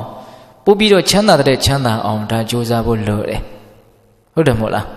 ချမ်းသာတဲ့ချမ်းသာအောင်မကြိုးစားလို့နော် ဟိုဆင်းရဲတဲ့ဆင်းရဲအောင်ကြိုးစားမယ်ဆိုတဲ့စိတ်ကတော့ဘယ်သူမှရှိမယ်မထင်ပါဘူးဟုတ်လားချမ်းသာတဲ့ချမ်းသာအောင်ကြိုးစားဖို့မလိုဘူးလားလိုတယ်ဒီနေရာမှာချမ်းသာဆိုတာကလည်းပဲဦးဇင်းတို့ကျမ်းဂန်နေတဲ့မှာအကြံဉာဏ်၃မျိုးလောက်ပြောထားတာရှိတယ်နော်ကာမဒုက္ခတဲ့နော်ယူပါယုံတတ္တယုံကန္နယုံရတ္တယုံဖုဒ္ဓဘာယုံဆိုတဲ့ဒီအာယုံတို့ကြောင့်ဖြစ်ပေါ်လာတဲ့စိတ်နှလုံးရဲ့ဝမ်းသာမှုပျော်ရွှင်မှုကြည်နူးမှုဒါကိုကာမဂုဏ်ကြောင့်ဖြစ်တဲ့ချမ်းသာကာမဒုက္ခ ဒါကတော့ပိဋကပေါင်းသူတော်ကောင်းတို့ရောဥစဉ်တို့ရောအလွန်တရာမှကျွမ်းကျင်တဲ့ဒီကာမချမ်းသာနဲ့ပတ်သက်ပြီးတော့အလေးအလာလည်းများတယ်နားလေတယ်ပေါ့နောက်ဒုတိယချမ်းသာကဘာလဲဆိုတော့ဇာနဒုက္ခနော်ဇန်ချမ်းသာစိတ်နှလုံးမှာကာမိဆန္ဒပြပါရထိနမိတ်တာဩရိစာကုတ်ကုဆဝိသိကိစ္စအစရှိတဲ့နိဝရဏတရားအမှန်တရားကိုမသိအောင်မမြင်အောင်ဖုံးနိုင်၊ကွယ်နိုင်တဲ့တတ္တိရှိတဲ့ ဒီတရားစိုးတွေကင်းကွာသွားလို့စိတ်နှလုံးမှာအေးချမ်းတည်ငြိမ်တဲ့သဘောနော်ဘာဝနာတရားတစ်မျိုးမျိုးကိုကြိုးစားအထောက်ရင်ရနိုင်တယ်ပေါ့အဲ့ဒါကိုဇန်ချမ်းသာဇာနာဒုက္ခဒုက္ခဒုတိယလိုက်တဲ့ချမ်းသာပေါ့နော်နောက်ဦးဇင်းတို့တတိယချမ်းသာကတော့တန်တိဒုက္ခနော်ငြိမ်းအေးတဲ့ချမ်းသာနော်ကိလေသာငြိမ်းလို့နော်တကယ်ငြိမ်းအေးမှုနိဗ္ဗာန်ဆိုတာကိုသိရတယ်မြင်ရတယ်ပေါ့နိဗ္ဗာန်ချမ်းသာဆိုတာကအမှန်ကတော့ တကယ်အရှိတရားပဲနိဗ္ဗာန်ဆိုတာတကယ်ရှိတယ်သို့တော့တရားဓမ္မတို့ဦးဇင်းတို့တကယ်ရှိတဲ့နိဗ္ဗာန်ကိုဘာကြောင့်တကယ်မသိတာလဲလို့မေးရင်တကယ်ရှိတဲ့နိဗ္ဗာန်ကိုမသိအောင်မမြင်အောင်နော်ကိလေသာတရားတွေကဖုံးထားတယ်ဆိုတဲ့အဓိပ္ပာယ်ကိလေသာတွေကိုဖယ်နိုင်တယ်ဆိုရင်နိဗ္ဗာန်ကိုသိနိုင်တယ်မြင်နိုင်တယ်ပေါ့အဲ့ဒါလိုနိဗ္ဗာန်ကိုသိလို့မြင်လို့ဖြစ်ပေါ်တဲ့ချမ်းသာသူကြတော့တန်တိဒုက္ခလို့ခေါ်တယ်ချမ်းသာဘယ်နှမျိုးတော့၃မျိုး ချမ်းသာတဲ့ချမ်းသာအောင်ကြိုးစားရမယ့်တာဝန်ဒီလူသားတိုင်းမှာရှိတယ်အသိဉာဏ်ရှိတဲ့လူသားတိုင်းမှာရှိတယ်ဆိုတာဒါကိုပြောတာဒါကြောင့်ကာမဒုက္ခလောက်နဲ့ရောင်ရဲတင်းတိမ်နေမယ်ဆိုရင်တော့နော်အသိဉာဏ်ရှိတဲ့လူသားတယောက်ရဲ့တာဝန်မကြည်ဘူးလို့ပဲဆိုရမှာဟုတ်လားကာမဒုက္ခတဲ့တာတဲ့ဇာနာဒုက္ခကိုရအောင်ကြိုးစားအထောက်ဖို့လိုတယ်ပေါ့တဆင့်တက်ပြီးတော့တန်တိဒုက္ခဆိုတဲ့တကယ်ချမ်းသာတဲ့ချမ်းသာမှန်ကိုရအောင်ရှာဖွေနိုင်ဖို့ကြိုးစားနိုင်ဖို့လိုတယ်ပေါ့ အခုလည်းပဲဦးဇင်းတို့ကန္နာတတိသားကချမ်းသာတဲ့ချမ်းသာအောင်ငါကြိုးစားမယ်ဆိုတော့သူပါစဉ်းစားလေနော်ရှိတဲ့စီစဉ်ကိုအကုန်လုံးသူပြီးရင်စွန့်ပြီးတော့သွားမှာနော်အဲ့ဒါလို့စွန့်ပြီးတော့မသွားသေးခင်မှာသူစဉ်းစားကြည့်တယ်သူစဉ်းစားတဲ့အချက်က၃ချက်ရှိတယ်ဘာတွေနဲ့ပတ်သက်ပြီးတော့သူစဉ်းစားလဲဆိုတော့နံပါတ်1ပစ္စည်းဥစ္စာဆိုတဲ့ပိုင်ဆိုင်မှုနဲ့ပတ်သက်ပြီးတော့သူတစ်ချက်စဉ်းစားတယ်နံပါတ်2 ဒီခန္ဓာကိုယ်ကြီးနဲ့ပတ်သက်ပြီးတော့သူတစ်ချက်စဉ်းစားတယ်နံပါတ်3ရှင်သန်မှုဆိုတဲ့ဒီအသက်နဲ့ပတ်သက်ပြီးတော့သူတစ်ချက်စဉ်းစားတယ်ဘယ်နှချက်စဉ်းစားလဲသုံးချက်စဉ်းစားတယ်ပစ္စည်းဥစ္စာဆိုတဲ့ပိုင်ဆိုင်မှုဒီခန္ဓာကိုယ်ကြီးရှင်သန်မှုဘယ်တစ်ချက်လဲသုံးချက်အဲ့ဒါကိုပေးသက်ပေါင်းတော်ကောင်းတို့ဘယ်ရာကတန်ဖိုးရှိတဲ့အရာဘယ်ရာကတန်ဖိုးမရှိတဲ့အရာ ဘယ်ရာကတော့အနှစ်သာရဘယ်ရာကတော့အကာပဲဆိုတာကိုသူခွဲခြမ်းပြီးတော့ပြသွားတာပဲအဲ့ဒါကိုဒီကနေ့ဦးဇင်းတို့တရားရဲ့ဒုတိယပိုင်းအနေနဲ့ဆက်ပြီးတော့ပြောမယ်ပေါ့နော်အေးနံပါတ်1သူစဉ်းစားတယ်ပစ္စည်းဥစ္စာနဲ့ပတ်သက်ပြီးတော့စဉ်းစားတယ်ဘယ်လိုစဉ်းစားလဲဆိုတော့ပိဉ္စနံဝေရဏံသာရဏဘာဝေနနေတရတဣမတဒနတဒါနနာမတာရောပစ္စည်းဥစ္စာကိုသူစဉ်းစားကြည့်လိုက်တော့ တန်ဖိုးမရှိဘူးဆိုတဲ့အဖြေထွက်တယ်တဲ့သူစိတ်ထဲမှာပစ္စည်းဥစ္စာတွေကိုဆင်ញံသုံးသပ်ကြည့်လိုက်တော့တန်ဖိုးမရှိဘူးဆိုတဲ့အဖြေထွက်တယ်တဲ့အကြောင်းပြချက်ကဘာလဲဆိုတော့ပိဉ္စနံဝေရဏံတာရဏဘာဝေနရန်သူမျိုး၅ပါးဖြင့်ဆက်ဆံနေတဲ့အတွက်ကြောင့်လို့သူကအကြောင်းပြတယ်။နော်အယံကာယောကြီးပစ္စည်းဥစ္စာကိုတန်ဖိုးမရှိဘူးလို့ပြောတာတော့မဟုတ်သူ့ရဲ့အကြောင်းပြချက်ကဘာလဲရန်သူမျိုး၅ပါးနဲ့ဆက်ဆံနေလို့ ဆိုလိုတာကရေမျောရင်လည်းပျက်စီးမယ်မီးလောင်ရင်လည်းပျက်စီးမယ်မင်းဆိုမင်းကြီးကသိမ့်ရင်လည်းခံရမယ်နော်လူစိုးတခိုးတွေကလူယွင်ရင်လည်းအခက်မသိရင်အသက်ပါတောင်ပေးလိုက်ရနိုင်တယ်ပစ္စည်းကိုအကြောင်းပြုပြီးတော့ဟုတ်လားအမွေခံသားဆိုသမီးတို့မချစ်မနစ်တတ်တဲ့ပုံကိုယ်တွေကြောင့်လည်းပျက်စီးနိုင်တယ်မုန်းတဲ့လူတွေကြောင့်လည်းပျက်စီးနိုင်တယ်ပေါ့ဟုတ်လားဆိုလိုတာကပျက်စီးခွင့်ကြုံလာရင်အလွယ်တကူပျက်စီးသွားနိုင်တယ်အမကန်ချက်အများကြီးမရှိဘူးလို့ပြောတာ ခိုင်မာမှုအများကြီးမရှိဘူးလို့ပြောတာဒါကသူ့ရဲ့အဓိကအကြောင်းပြချက်ပေါ့တကယ်တမ်းကတော့ဦးဇင်းတို့ပစ္စည်းဥစ္စာကိုတန်ဖိုးမရှိဘူးလို့ပြောတဲ့နေရာမှာပစ္စည်းဥစ္စာရဲ့မကောင်းတဲ့အချက်တွေကတော့အများကြီးရှိတာပဲမကောင်းတာကြီးတဲ့တော့မဟုတ်ပါအောင်ပစ္စည်းဥစ္စာဟာစာဝတ်နေရေးလူမှုရေးကျန်းမာရေးစီးပွားရေးဒီအရေးတွေရှိနေတဲ့အတွက်ကြောင့်ရှိတဲ့ရှိတဲ့အောင်လဲစ조사အထုတ်ဖို့လိုအပ်တယ်ဒါပေမဲ့ဦးဇင်းတို့ပြောချင်တာကလိုအပ်တာထက်တော့ပို့ပြီးတော့အထင်ကြီးမထားဖို့ လိုမယ်လို့ထင်တယ်ဟုတ်လားပစ္စည်းဥစ္စာရဲ့တန်ဖိုးဆိုတာသူ့ဟာနဲ့သူအထိုက်လျောက်ရှိပါတယ်ဒါပေမဲ့ရှိတဲ့တန်ဖိုးထက်ပို့ပြီးတော့တွက်မထားမိဖို့လည်းအရေးကြီးတယ်အခုသူကတွက်ပြတယ်ရန်သူမျိုး၅ပါးနဲ့ဝမ်းရံနေလို့ရန်သူမျိုး၅ပါးနဲ့ဆက်ဆံနေလို့ပစ္စည်းဥစ္စာကိုတန်ဖိုးမရှိဘူးလို့ပြောတယ်တကယ်စဉ်းစားကြည့်ရင်တော့ပစ္စည်းဥစ္စာတန်ဖိုးမရှိဘူးဆိုတာနဲ့ပတ်သက်ပြီးတော့ပြောမယ်ဆိုရင်တော့ပြောစရာစကားအများကြီးရှိတယ်အခြေခံကစပြောရမယ်ဆိုရင်ဦးဇင်းတို့ဒီပစ္စည်းဥစ္စာတွေဟာ ဘလို့နီးနဲ့ရလာသလဲအများစုကတော့လောဘဒေါသနဲ့ယင်းပြီးတော့ပင်မမှုနဲ့ပူလောင်မှုနဲ့ယင်းပြီးတော့ရှာထားလို့ရတာပါပေတလို့ညင်းနိုင်လားမညင်းနိုင်ဘူးပူလောင်မှုပင်မမှုနဲ့ယင်းထားရတယ်တက်တောင့်တက်တာလွယ်လွယ်ကူကူရလာတယ်ဆိုတာအလွန်မှရှားပါတယ်ရှေးတုန်းကကံကောင်းလို့လို့အလွယ်ကူရတယ်ဆိုတာလည်းမရှိဘူးတော့မဟုတ်ဘူးရှိပါတယ်ဒါပေမဲ့အများစုပိုင်ဆိုင်ထားတဲ့ပစ္စည်းတွေချွေနဲ့သွေးနဲ့ ရင်းထားရတယ်တချို့အသက်ပါတောင်ရင်းလဲရတာရှိတယ်ကျမကြီးနဲ့ရင်းရတာလည်းရှိတယ်အဲ့ဒါလို့ဦးဇင်းတို့အရင်နီးများစွာဖြင့်ရှာဖွေထားလို့ရလာတဲ့ဒီပစ္စည်းရလာပြီဆိုတော့လည်းပဲအကောင်းကွက်ကြီးလားဆိုတော့မဟုတ်ကောင်းတာတွေရှိတယ်လို့ဒါတွေကိုမပျက်စီးအောင်ကာကွယ်ရတယ်စောင့်ရှောက်ရတယ်ပျက်စီးသွားမှလေလားဆိုတဲ့စိုးရိမ်မှုကတော့တွေးမိတိုင်းရှိတယ် ပစ္စည်းကြောင့်ဖြစ်တဲ့ချမ်းသာကိုကြီးမြင်လို့မရဘူးပစ္စည်းကြောင့်ဖြစ်တဲ့စိုးရိမ်မှုပူလောင်မှုကိုလည်းပဲအမှန်အကန်နားလည်ဖို့လိုတယ်ဒါရှိတယ်ဆိုတာဟုတ်လားဒါကြောင့်ပစ္စည်းဥစ္စာဆိုတာစိုးရိမ်ခြင်းပူလောင်ခြင်းနေနဲ့လည်းရောပြွန်းနေတယ်ဟာကိုဘလို့မှမဖြစ်ချင်တဲ့ကိစ္စကြီးဒီပျက်စီးတဲ့ကိစ္စကြီးအကြောင်းတစ်မျိုးမျိုးကြောင့်ပျက်စီးသွားပြီဆိုရင်တော့အလွန်အကဲကိုပဲအဲ့ဒီကြရင်တော့ပူလောင်ရတဲ့ဆင်းရဲရတယ်တချို့ကျမ်းမာရေးထိခိုက်သွားတာရှိတယ်ပစ္စည်းဥစ္စာပျက်စီးလို့တချို့ယူသွားတာတောင်ရှိတယ်တချို့သေသွားတာတောင် ရှိတယ်မရှိဘူးလားဗျာရှိတယ်နောက်ဆုံးဘဝရဲ့နောက်ဆုံးအချိန်မှာဒီပစ္စည်းဥစ္စာကိုပုထုတင်တဘာဝတွေ့တာလွန်းလို့ဆွဲလန်းလွန်းလို့မမောလန်းလို့မစွန့်နိုင်မခွာနိုင်ဖြစ်ပြီးတော့မြန်သေခဲ့မယ်ဆိုရင်တော့ဒုတိယဘဝတော်တော်ဆိုးတဲ့ဘဝတစ်ခုကိုလည်းရသွားနိုင်တယ်ဒါဥစဉ်တို့ပေးတဲ့ပေါင်းတော်တို့အဆိုးမြင်ရှုထောင့်ကကြည့်ပြီးတော့ပြောနေတာမဟုတ်ဘာဖြစ်ဖြစ်မျှမျှတတာအရှိကိုအရှိတိုင်းမြင်တတ်ဖို့တော့လိုတယ်။ နော်စာဝတ်နေရေးလူမှုရေးကျမ်းမာရေးပညာရေးကြိုးစားဖို့အတွက်ပြည့်စုံဥစ္စာဆိုတာမရှိရင်မဖြစ်ပါဘူးဒါတော့တော့ဥစဉ်တို့လည်းနားလဲပါတယ်ဟုတ်လားသို့တော့သူ့မှာရှိတဲ့အည်အသွေးထက်ပိုပြီးတော့တွက်မထားမိဖို့လည်းအရေးကြီးတယ်ဥစဉ်တို့ပစ္စည်းဥစ္စာနဲ့ပတ်သက်ပြီးတော့ဓမ္မပဒပါဠိတော်မှာမြတ်စွာဘုရားဝေဖန်ပြထားတာလေးတစ်ခုရှိတယ်ဟနန္တိဘောဂဒုံမေရာနောစပါရဂဝေတိနောတဲ့ ဒုံမေတာညံနေတဲ့ပုဂ္ဂိုလ်တို့ကိုဘောကပစ္စည်းဥစ္စာတို့သည်ဟန္နန္တိအသေးတတ်တတ်ကုန်၏တဲ့နော်ပစ္စည်းဥစ္စာဆိုတာညံနေတဲ့ပုဂ္ဂိုလ်ကိုအသေးတတ်နိုင်တယ်နှိမ့်ဆက်နိုင်တယ်ဆင်းရဲသွားစေနိုင်တယ်ပူလောင်သွားစေနိုင်တယ်ဟုတ်လားဒါပေမဲ့လို့နောစပါရကဝေတိနောတဲ့ဟောမြတ်စွာဘုရားအရှိတိုင်ဟောတယ်နော်ပါရကဝေတိနောတစ်ဖက်ကန်းတည်းဟူသောနိဗ္ဗာန်ကိုရှာမိကြတဲ့ပုဂ္ဂိုလ်တွေကိုကြတော့အသေးမတတ်နိုင်ဘူးတဲ့ ပစ္စည်းဥစ္စာဆိုတာညံနေတဲ့လူကိုကောင်းကောင်းနှိပ်စက်နိုင်တယ်ဒါပေမဲ့နိဗ္ဗာန်ချမ်းသာတည်းဟူသောတစ်ဖက်ကန်းနော်ပါရကဝေတိနောပါရဆိုတာတစ်ဖက်ကန်းနိဗ္ဗာန်ကိုပြောတာပါ ကဝေတိနောဆိုတာရှာဖွေတယ်ပေါ့နော်နိဗ္ဗာန်ချမ်းသာကိုရလိုတဲ့စိတ်နဲ့ကြိုးစားအထောက်ကြတဲ့ပုံကိုယ်တွေကိုကြာတော့ပစ္စည်းဥစ္စာတွေကမနှိမ့်ဆက်နိုင်ဘူးဆိုလိုတာကဒီပစ္စည်းဥစ္စာကိုအကြောင်းပြုပြီးတော့ဒါနစေတနာဒီဒါနစေတနာကြောင့်နိဗ္ဗာန်ချမ်းသာကိုမြန်မြန်မျက်မှောက်ပြုပြရစီဆိုလို့ရှိရင်ဒါမြန်မြန်မျက်မှောက်ပြုဖို့အတွက်သူတို့အများကြီးတွန်းအားပေးနိုင်တဲ့အနေအထားမှာတောင်ရှိတယ်ဒါကြောင့်ပစ္စည်းဟာသူကြီးတက်တက်ဆိုရင်တော့ပိဿပေါင်းတော်ကောင်းတို့ဟိုတန်ဖိုးကိုပြောဖို့ခက်တယ်ပေါ့ သူ့ကိုအသုံးချတတ်သလားအသုံးမချတတ်ဘူးလားဆိုတဲ့ပိုင်ဆိုင်တဲ့ပုဂ္ဂိုလ်ရဲ့အည်အသွေးကိုကြည့်ပြီးတော့ပဲအဓိကဝေဖန်ဖို့လိုတာပေါ့ဟုတ်လားသူ့ကိုအသုံးမချတတ်ဘူးဆိုရင် तू ကကိုယ့်ကိုကောင်းကောင်းနှိပ်စက်နိုင်တယ်ဟိုဦးဇင်းတို့မြတ်စွာဘုရားလက်ထက်က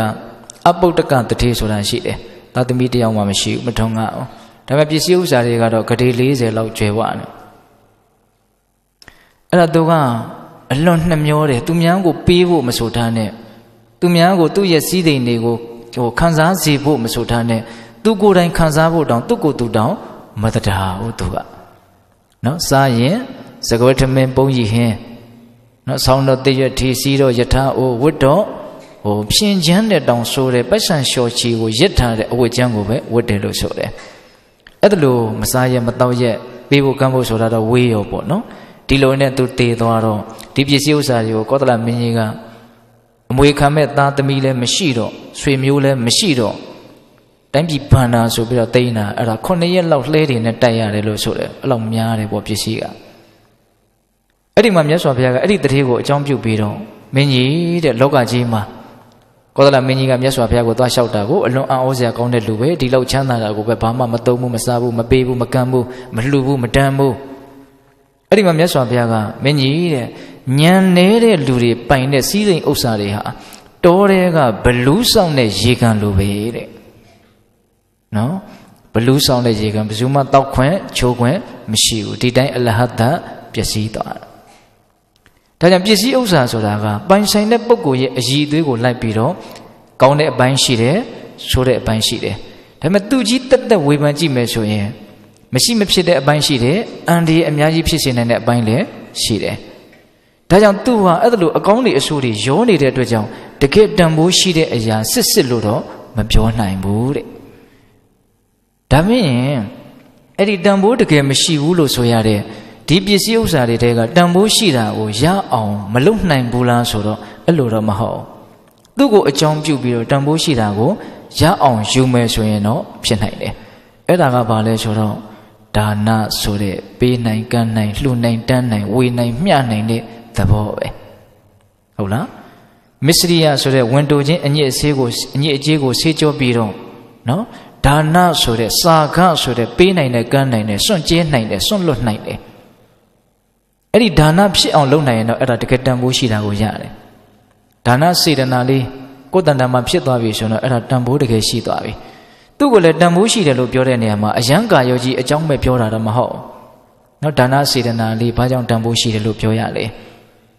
အခြေခံကြကြပြောရရင်တော့တစ်အချက်ကိုတကယ်ပိုင်တယ်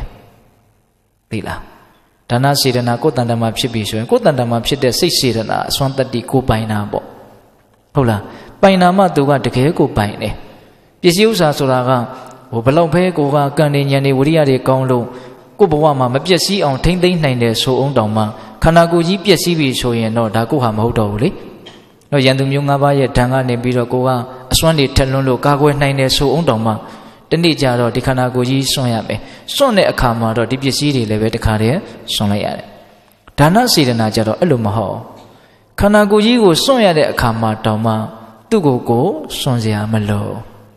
ဟုတ်လားအနုဂါမိကအစင်လိုက်တယ်လို့မြတ်စွာဘုရားဟောတာအနုဂါမိကအလွန်သစ္စာရှိတယ်မနေရဘူးပေါ့ ဆိုလိုတာကရောက်ရဘဝရရခန္ဓာမှာအကျိုးပေးမယ်ဆိုတဲ့ဓာတ်တတိကလေးအနေနဲ့သူအမြဲတမ်းရှိတယ်ဟိုဒါနစေတနာကတော့သင်္ခါရတရားမို့လို့ပျက်စီးပါတယ်ဒါပေမဲ့အကျိုးပေးမယ်ဆိုတဲ့တတိလေးကတော့မပျက်စီးဘူးဖြစ်ရဘဝတိုင်းမှာသူပါတယ်လှုပ်ထားခဲ့ပြီဆိုရင်တော့သူကတော့ပါနေတာပဲနော်ဆိုကြပါစို့ဒီလူဘဝကပြောင်းသွားလို့ခွေးဖြစ်ခြင်းဖြစ်သွားမယ်အဲ့ဒီခွေးဖြစ်တဲ့တဏ္ဍာမှာအဲ့ဒီဒါနစေတနာရဲ့အစွမ်းတတိပါတယ်နော် ဘယ်တရားပဲဖြစ်သွားဖြစ်သွားအဲ့ဒီတတိလေးကိုထားခဲ့เสียမလို့အဲ့ဒီလိုကောင်းတဲ့ဓာတ်တတိကလေးတွေကိုပဲဒါပါရမီလို့ခေါ်တာပဲမဟုတ်လားဦးဇင်းတို့ဆိုကြပါစို့မြတ်စွာဘုရားကပါရမီတွေအများကြီးဖြည့်ဆည်းခဲ့တယ်ကောင်းတာတွေအများကြီးလုပ်ခဲ့တယ်ပေါ့တဲ့တဲ့ပြောရရင်ခန္ဓာတွေကတော့အမျိုးမျိုးပြောင်းသွားတာပဲလေခွေးဖြစ်လိုက်နွားဖြစ်လိုက်လူဖြစ်လိုက်နတ်ဖြစ်လိုက်ဟုတ်လားသို့တော့အဲ့ဒီဓာတ်တတိကတော့ခန္ဓာတွေပြောင်းတယ်ပဲပြောင်းတဲ့ခန္ဓာတော့သူကတော့လိုက်ပြီးတော့ပါနေတာပဲ ဟုတ်လားအဲ့ဒီပါတဲ့ကိစ္စမှာ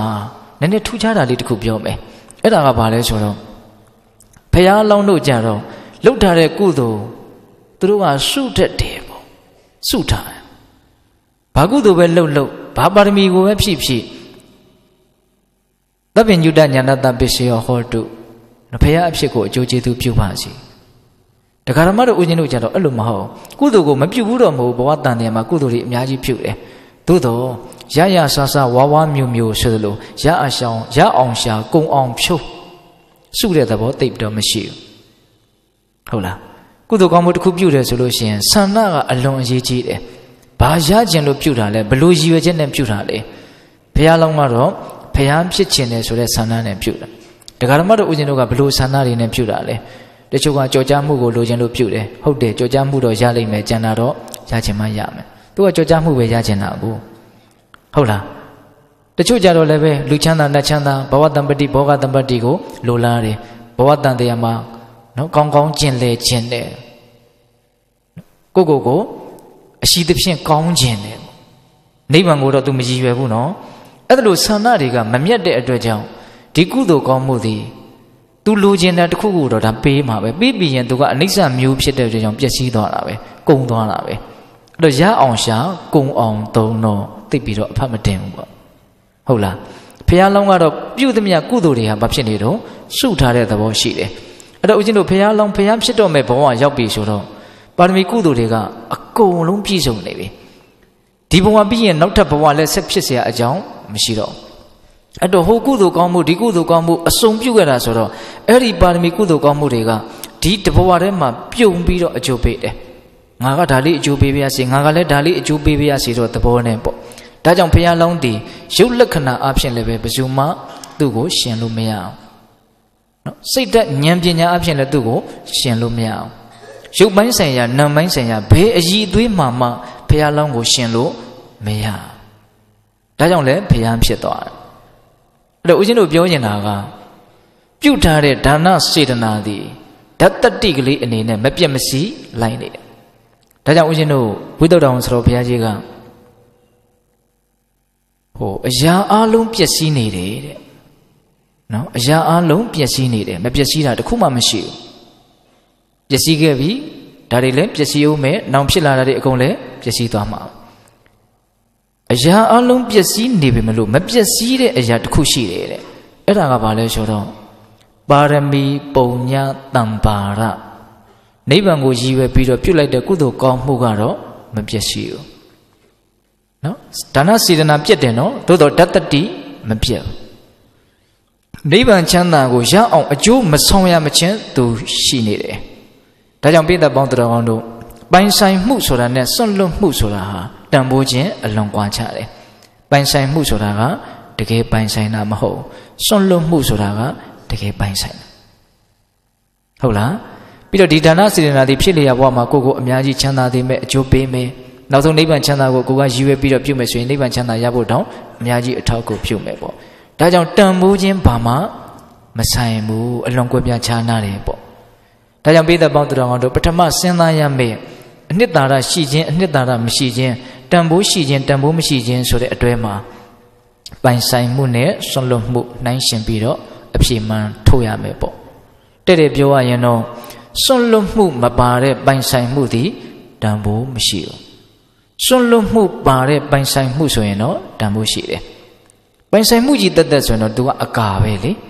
စွန့်လွတ်မှုကလေးပါမှ तू ကအနှစ်ရောသွားတယ်ပေါ့ဒါကြောင့်မဆို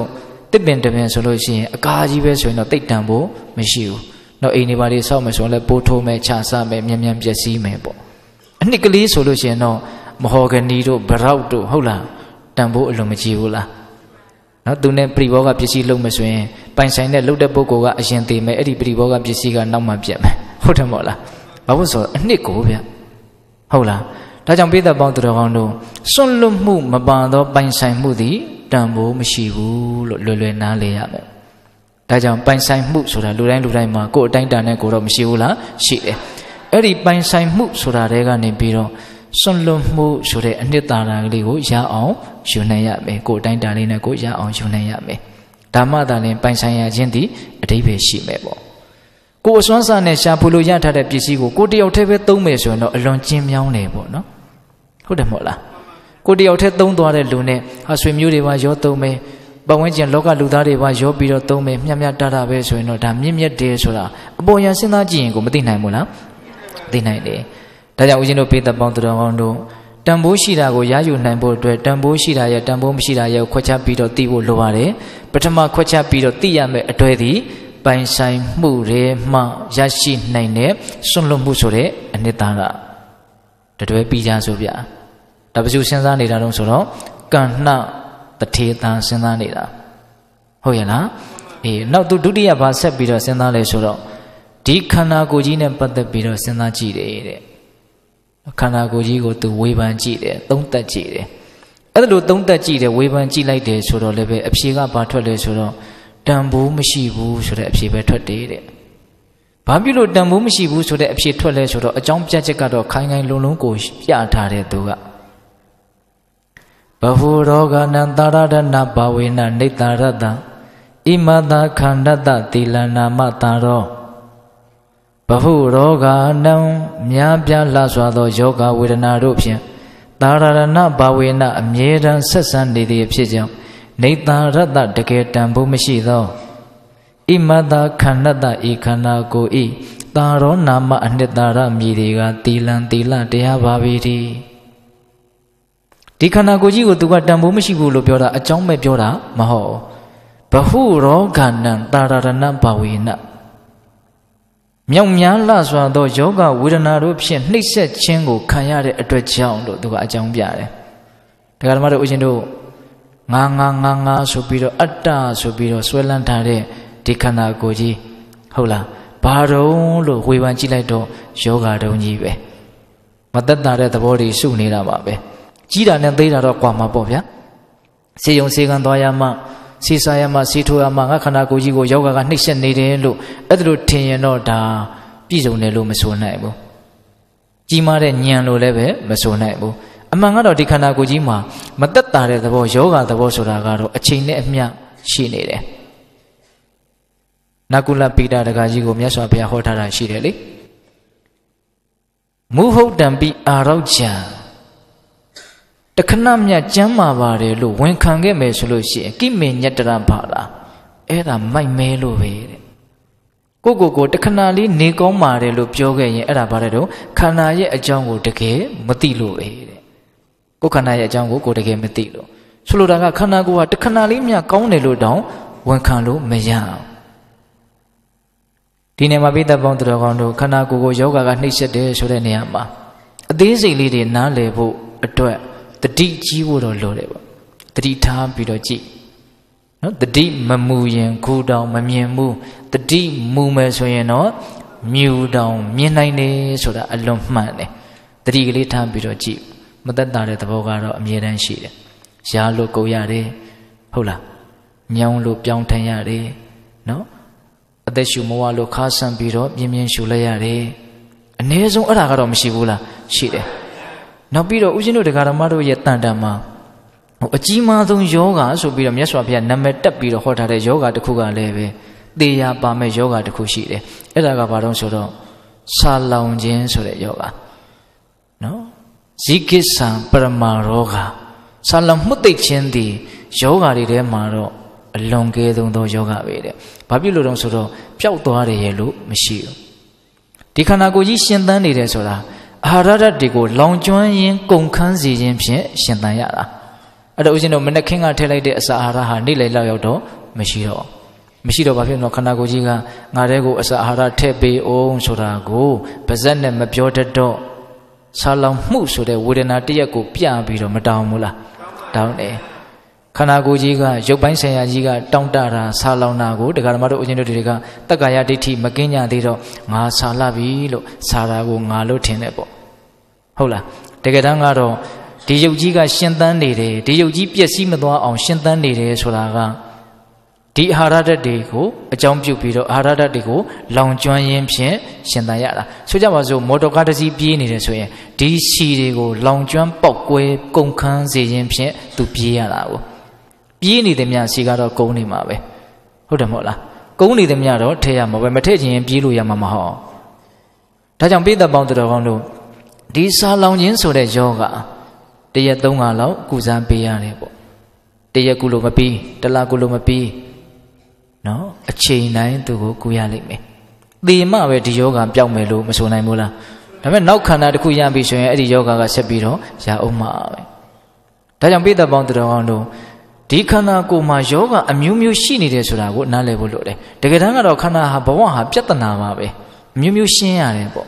နော်အဝတ်နဲ့ရှင်းရတယ်အစားနဲ့ရှင်းရတယ်ရာသီဥတုမျှတအောင်လုပ်ပြီးတော့ရှင်းရတယ်ဘာလို့ဆိုဒီယုတ်ကအမျိုးမျိုးသူကဖောက်ပြန်လွယ်တဲ့သဘောရှိတာပေါ့ဒီနေမှာဥရှင်တို့ပိဿပေါင်းတော်တို့ယောဂဆိုတာနဲ့ပတ်သက်ပြီးတော့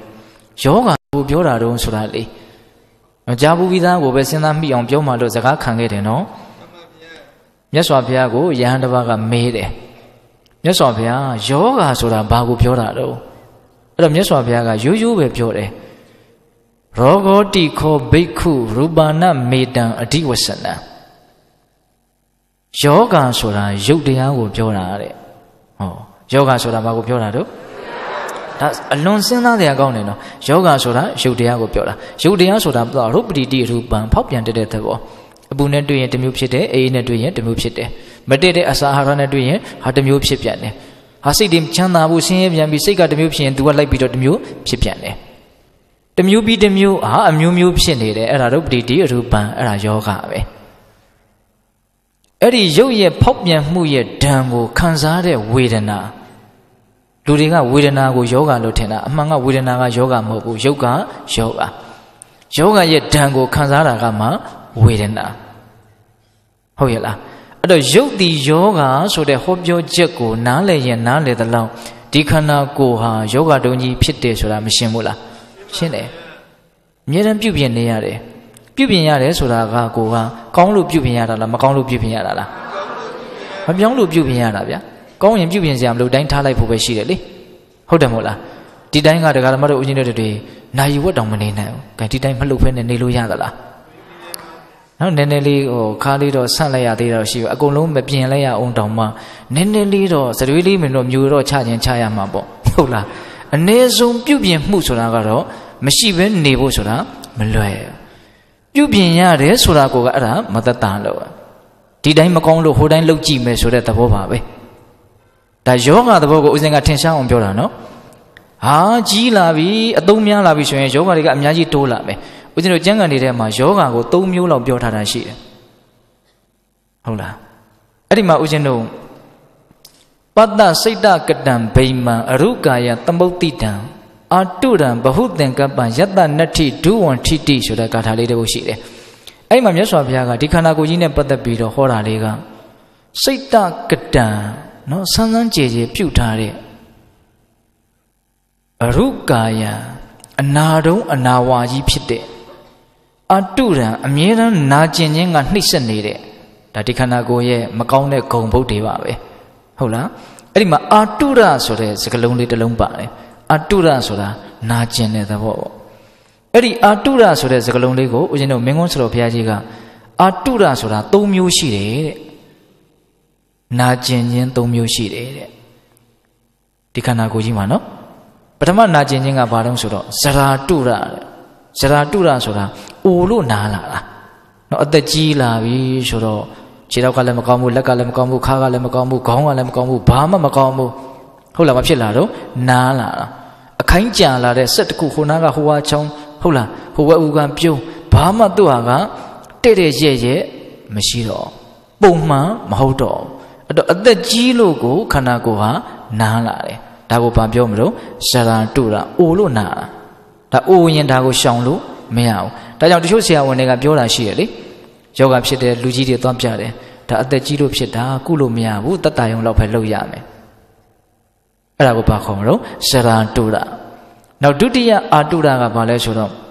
ရောဂါတုတာတဲ့တချို့မအူသေးပဲနဲ့နာတယ်ဘာလို့လဲဆိုတော့ယောဂါကနှိမ့်ဆက်လို့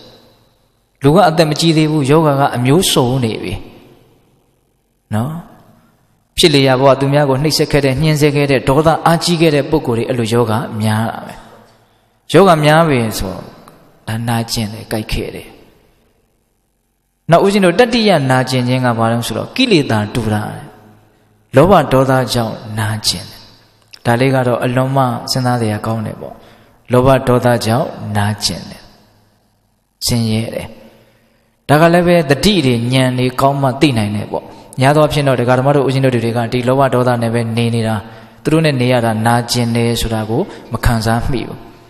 သူတို့နဲ့နေရတာနာကျင်တယ်အခါရခက်တယ်ဆိုတာကိုတကယ်ထင်ရှားကျင်တယ်ဆိုရင်သူတို့မရှိဘဲနေကြည့်တဲ့ကာလာလေးတွေများအောင်ကြိုးစားကြည့်တဲ့တယ်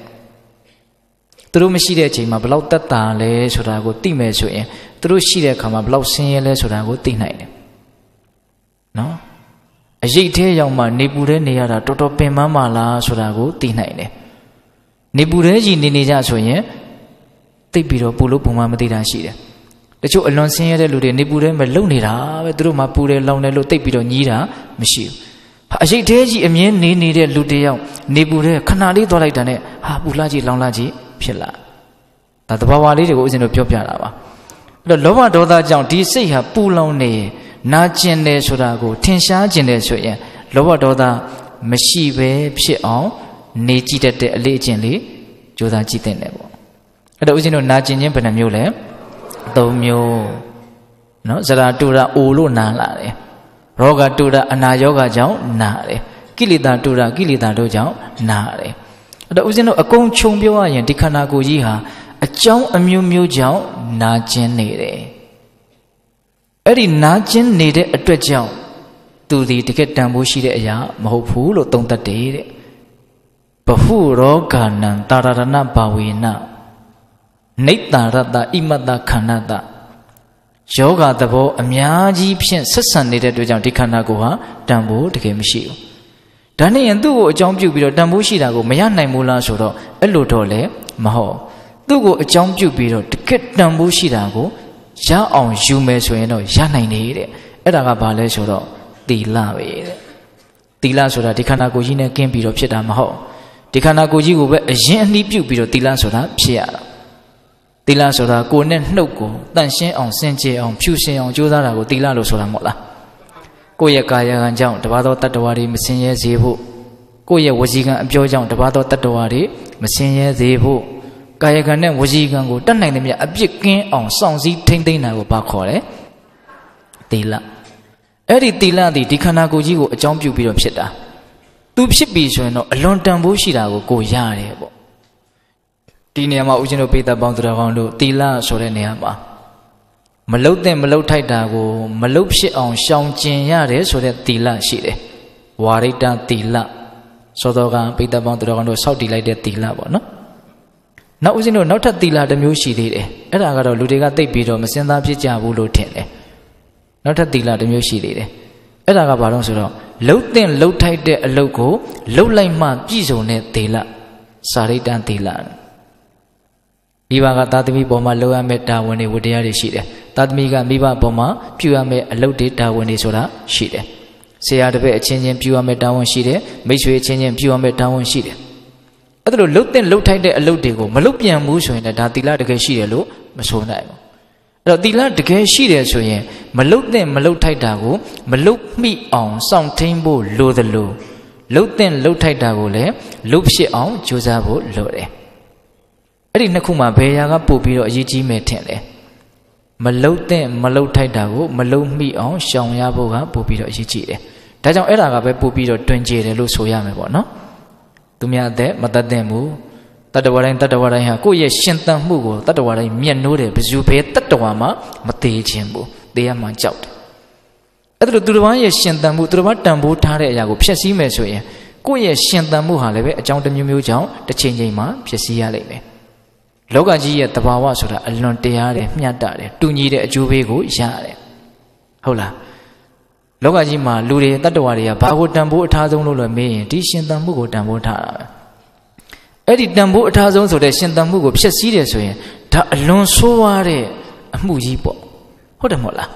သူများရဲ့ရှင်သန်မှုကိုကြတော့ဖျက်ဆီးခြင်းတယ်ကိုရှင်သန်မှုကိုကြတော့အထိကိမခံနိုင်ဘူးဆိုရင်ဒီလူဟာစိတ်ကောင်းရှိတဲ့လူလို့ဆိုမလားစိတ်ယုတ်မှရှိတဲ့လူလို့ဆိုမလားအေးဒါစဉ်းစားတယ်ပေါ့ဆက်ပြီးတော့စဉ်းစားနော်ပိုင်ဆိုင်မှုလူတိုင်းမျက်နှိုးတယ်ခိုးတယ်ယူတယ်ဆိုရင်ဒါပိုင်ဆိုင်မှုကိုဖျက်ဆီးတယ်လူတိုင်းဒီကာမဂုဏ်ကိစ္စဒီအိမ်တော်ရေးကိစ္စตายရခြင်းတယ် စဉ်းစားကြည့်ပါပိဿတို့ဉာဏ်ရှိတယ်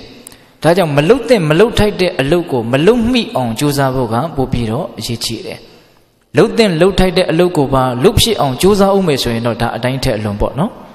ဒါကြောင့်ပိဿပေါင်းသူတော်ကောင်းတို့အဲ့ဒီမြင့်မြတ်တဲ့သီလတမာတိပညာတို့ရဲ့အကြောင်းတရားဖြစ်တဲ့သီလ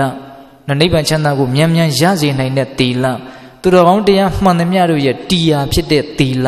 သီလရဲ့ဂုဏ်ကျေးဇူးကိုပြောရင်တော့ကိုယ်နိုင်ဝယ်ရမရှိဘူးဟုတ်လား သီလတကယ်ရှိမယ်ဆိုလို့ရှိရင်အဲ့ဒီပုဂ္ဂိုလ်ဟာအလွန်မှလူလောကကြီးမှာရဲရဲချင်းချင်းနေနိုင်တယ်နောင်တရစရာဘာမှလည်းမရှိဘူးเนาะတေဂာနိမှာတူတူဝေသေးစရာအကြောင်းလည်းမရှိဘူးဟုတ်လားပြီးရင်သိပြီးတဲ့နောက်ကောင်းရမြတ်ရာကိုလည်းရှောင်းနိုင်တယ်နော်ပိတ်တကြသွားရင်ညှို့ငယ်စရာလည်းမလိုဘူးမကောင်းတဲ့ကြော်သောတန်တွေထွက်เสียအကြောင်းလည်းမရှိဘူးတကယ်တမ်းကသီလရဲ့ဂုဏ်ကျေးဇူးပြောเสียအများကြီးရှိပါတယ် အဲ့ဒီလောက်ကောင်းတဲ့တကယ်တန်ဖိုးရှိတဲ့သီလဆိုတာဒီခန္ဓာကိုယ်ကြီးကိုပဲအရင်ပြုတ်ပြီးတော့ရှားရတာခန္ဓာကိုယ်ကြီးဟာသူကြီးတက်တက်ဆိုရင်တော့တန်ဖိုးတကယ်ရှိတယ်လို့မဆိုနိုင်ဘူးသီလဆိုတဲ့အနှစ်ကိုထည့်နိုင်မယ်ဆိုရင်တော့ဟောအနှစ်နဲ့တွဲသွားတယ်ပေါ့ဟုတ်ရဲ့လားဒါကြောင့်ပြည်သက်ပေါင်းတော်အောင်တို့သီလမပါသောခန္ဓာသည်အနှစ်ကင်းတယ်ဟုတ်လားသီလပါတဲ့ခန္ဓာတည်တာလည်းအနှစ်တည်တယ်ဆိုတာကိုနားလည်ပြီးတော့ဒုတိယအတွဲ ပြောမယ်ဆိုရင်တော့အများကြီးပြောစရာရှိသေးတယ်နော်ဒါပေမဲ့နောက်ထပ်ဦးဇင်းတို့ပြောစရာအရေးကြီးတာကြံလေလို့သီလနဲ့ပတ်သက်ပြီးတော့ဒီလောက်ပဲပြောရမယ်ဟုတ်လားအဲ့တော့ခန္ဓာကိုယ်ဟာအမျိုးမျိုးသောယောဂါတွေရဲ့နှိမ့်ဆက်ခြင်းတန်ကိုခံရတဲ့အတွက်ကြောင့်တကယ်တန်ဖို့ရှိတယ်လို့မဆိုနိုင်ဘူးသို့တော့ကိုချင်းတီလာကိုသူ့ကိုအကြောင်းပြုပြီးတော့ရအောင်လုပ်နိုင်မယ်ဆိုရင်တော့အနှစ်သာရကိုရတယ်လို့မဆိုနိုင်ဘူးလားဆိုနိုင်တယ်ဒါကြောင့်ဦးဇင်းတို့ဒုတိယအတွဲခန္ဓာနဲ့တီလာ ခန္ဓာကြီးတက်တက်ဆိုရင်တန်ဖိုးတကယ်ရှိတယ်လို့မဆိုနိုင်ဘူးတီလာဆိုတဲ့အနှစ်ကိုပါအောင်လုပ်ဖို့လိုတယ်ဆိုတဲ့အချက်ဘယ်နှစ်တဲရှိသွားပြီတော့နှစ်တွဲရှိသွားပြီနော်ပိုင်ဆိုင်မှုရဲ့အနှစ်သာရသည်ဆွန်လွန်မှုခန္ဓာကိုယ်ရဲ့အနှစ်သာရသည်သီလဟုတ်ရဲ့လားအေးနောက်ဦးဇင်းတို့တတိယဘုရားလုံးကဘာဆက်ပြီးတော့စဉ်းစားလဲရှင်သန်ခြင်းဆိုတဲ့ဒီအသက်နဲ့ပတ်သက်ပြီးတော့စဉ်းစားတယ် နော်ကံမကုံသေးသေးရဲ့ဘဝမှာတရားဓမ္မတို့ဦးဇင်းတို့တွေနေကြရအောင်ပါနေတယ်ဆိုတာရှင်းနေတယ်ရှင်းတယ်ဆိုတာရဲ့နေတယ်ဆိုတာရဲ့အဓိပ္ပာယ်ကပါလေတူတူပါပဲအဲ့ဒီရှင်သန်မှုဒီဇီဝိတဒီအသက်အဲ့ဒါကိုသူကဝေဖန်ကြည့်တယ်အဲ့ဒါလိုဝေဖန်လိုက်တဲ့အခါကျတော့ဒီရှင်သန်မှုကိုလည်းပဲတန်ဖိုးမရှိဘူးဆိုတဲ့အဖြေကိုပဲထုတ်ပြသွားတယ်တရားဓမ္မတို့ဦးဇင်းတို့တွေကတော့ရှင်သန်မှုကိုအလွန်မှတန်ဖိုးထားတယ်နော် ဟုတ်လားဒါမှရှင်သန်မှုကိုတန်ဖိုးထားတယ်ဆိုတဲ့နေရာမှာပြီးရင်ကိုကိုပြပြနားလည်သွားမှာပါရှင်သန်မှုရဲ့တန်ဖိုးဆိုတာဘာကိုပြောတာလဲရှင်သန်မှုကတန်ဖိုးမရှိဘူးဆိုတာဘာကိုပြောတာလဲရှင်သန်မှုဟာလူဘဝရဲ့ရှင်သန်မှုတွေတန်ဖိုးမရှိဘူးဆိုတဲ့ရှုထောင့်ကကြည့်ရင်တန်ဖိုးမရှိဘူးတန်ဖိုးရှိတယ်ဆိုတဲ့ရှုထောင့်ကကြည့်ရင်တန်ဖိုးရှိတယ်တန်ဖိုးမရှိဘူးဆိုတဲ့ရှုထောင့်ကဘာပြောတာလဲဆိုတော့သူကြီးတက်တက်ဒီတိုင်းလာဖြစ်ရင်တော့တန်ဖိုးမရှိဘူးဒါပေမဲ့လို့လူဘဝရဲ့ရှင်သန်မှုက ဒီဆင်းရဲလာတဲ့ဒုက္ခတွေကလွတ်မြောက်အောင်ရုန်းကန်နိုင်ခွင့်ရှိတဲ့အတွက်ကြောင့်အဲ့ဒီရှုထောင့်ကကြည့်ရင်တော့ဘလို့မှတန်ဖိုးဖြတ်လို့မရအောင်တန်ဖိုးရှိတယ်အခုဘုရားလုံးကရှင်သန်မှုဒီတန်ဖိုးမရှိဘူးလို့ပြောတာဟာအဲ့ဒီလွတ်မြောက်အောင်ရုန်းကန်နိုင်ခွင့်ရှိခြင်းမရှိခြင်းဆိုတာနဲ့ပတ်သက်ပြီးတော့သူကဝေဖန်နေတာမဟုတ်ဒီရှင်သန်ခြင်းတသက်ကိုပဲသူကဝေဖန်တာရှင်သန်ခြင်းတသက်မှာတော့တန်ဖိုးမရှိဘူးဘာကြောင့်လုံးဆိုတော့တဲ့ အနိစ္စန္တိတဘာဝေနအဘိနပိလနထောနေတာရတဣမတဇီဝိတတဘာဝနာနာမတာရောတဲ့နော်အနိစ္ဆာတိတဘာဝေနမမြဲခြင်းတဘာဝတရားသည်အဘိနပီလနထောအမြဲတမ်းနှိမ့်ဆက်နေတဲ့အတွက်ကြောင့်ဟောရှင်တန်မှုကိုတန်ဖိုးမရှိဘူးလို့ပြောခြင်းရဲ့အကြောင်းတရားတွေ့ပြီနော်မမြဲခြင်းသဘောကအမြဲတမ်းနှိမ့်ဆက်နေလို့ဒီနေမှာဦးဇင်းတို့စိတ်ဝင်စားတာလေး ပစ္စည်းဥစ္စာကိုရန်သူမျိုး၅ပါးကဝန်းရံနေတယ်ဆက်ဆံနေတယ်တာရတနာဘာဝေနဆိုတဲ့အသုံးမဲ့သုံးတယ်ဒီခန္ဓာကိုယ်ကိုယောဂါကနှိမ့်ဆက်တယ်ဆိုတဲ့နေရာမှာလည်းပဲတာရတနာဘာဝေနဆက်ဆံနေတယ်ဆိုတာပဲသုံးတယ်ခုရှင်တန်ခြင်းကိုအနိစ္စတဘာဝကနှိမ့်ဆက်တယ်ဆိုတဲ့အသုံးကိုသုံးထားတယ်အဲ့ဒီနှိမ့်ဆက်တယ်ဆိုတဲ့နေရာမှာတော့မှအဘိနဆိုတဲ့စကားလေးထည့်တာအဘိနပီလနထောအမြဲတမ်းနှိမ့်ဆက်တယ် တတ္တာခွင့်ဘယ်အချိန်မှမှမရှိဘူးဘယ်အချိန်သာနှိမ့်ဆက်တာဘယ်အချိန်တော့မစိမနှိမ့်ဆက်ဘူးလို့လွတ်ငင်းချမ်းသာခွင့်ရတဲ့အချိန်တစ်ချိန်မှမရှိဘူးရှင်သန်မှုကိုမမြဲခြင်းသဘောကနောက်ကအမြဲတမ်းလိုက်ပြီးတော့ဖြည့်ဆည်းနေတယ်နှိမ့်ဆက်နေတယ်ဆိုလိုတာကဘဝမှာဘလို့ရှင်သန်မှုမျိုးမဆိုပြီးဆုံးချုပ်ပြောက်သွားကြတာကြီးပဲလို့ပြောတာနော်ဆင်းရဲသားတယောက်ရဲ့ရှင်သန်မှုလည်းပြီးဆုံးသွားတာ ချမ်းသာတဲ့လူတယောက်ရဲ့ရှင်သန်မှုဟာလည်းပြီးဆုံးသွားတာဆင်းရဲတာနဲ့ချမ်းသာတာနဲ့အပေါ်ယံမတူပေမလို့ကြွားချပေမလို့ပြီးဆုံးသွားတာချင်းကြတော့တူတယ်နော်ဆိုကြမှာဆိုဆင်းရဲတဲ့လူနဲ့ချမ်းသာတဲ့လူကိုအသာထားပါအောင်ဗျာကိုတယောက်တည်းမှာကိုပဲဆင်းရဲတဲ့အခါရှိတယ်ချမ်းသာတဲ့အခါရှိတယ်ဆင်းရဲတဲ့အခါလည်းပဲဖြစ်ပေါ်လာတဲ့ပြီးဆုံးသွားတာပဲချမ်းသာတဲ့အခါလေးမှာလည်းပဲအကြာကြီးတည်နေတာမဟုတ်ဘူးဖြစ်ပေါ်လာတဲ့ပြီးဆုံးသွားတယ်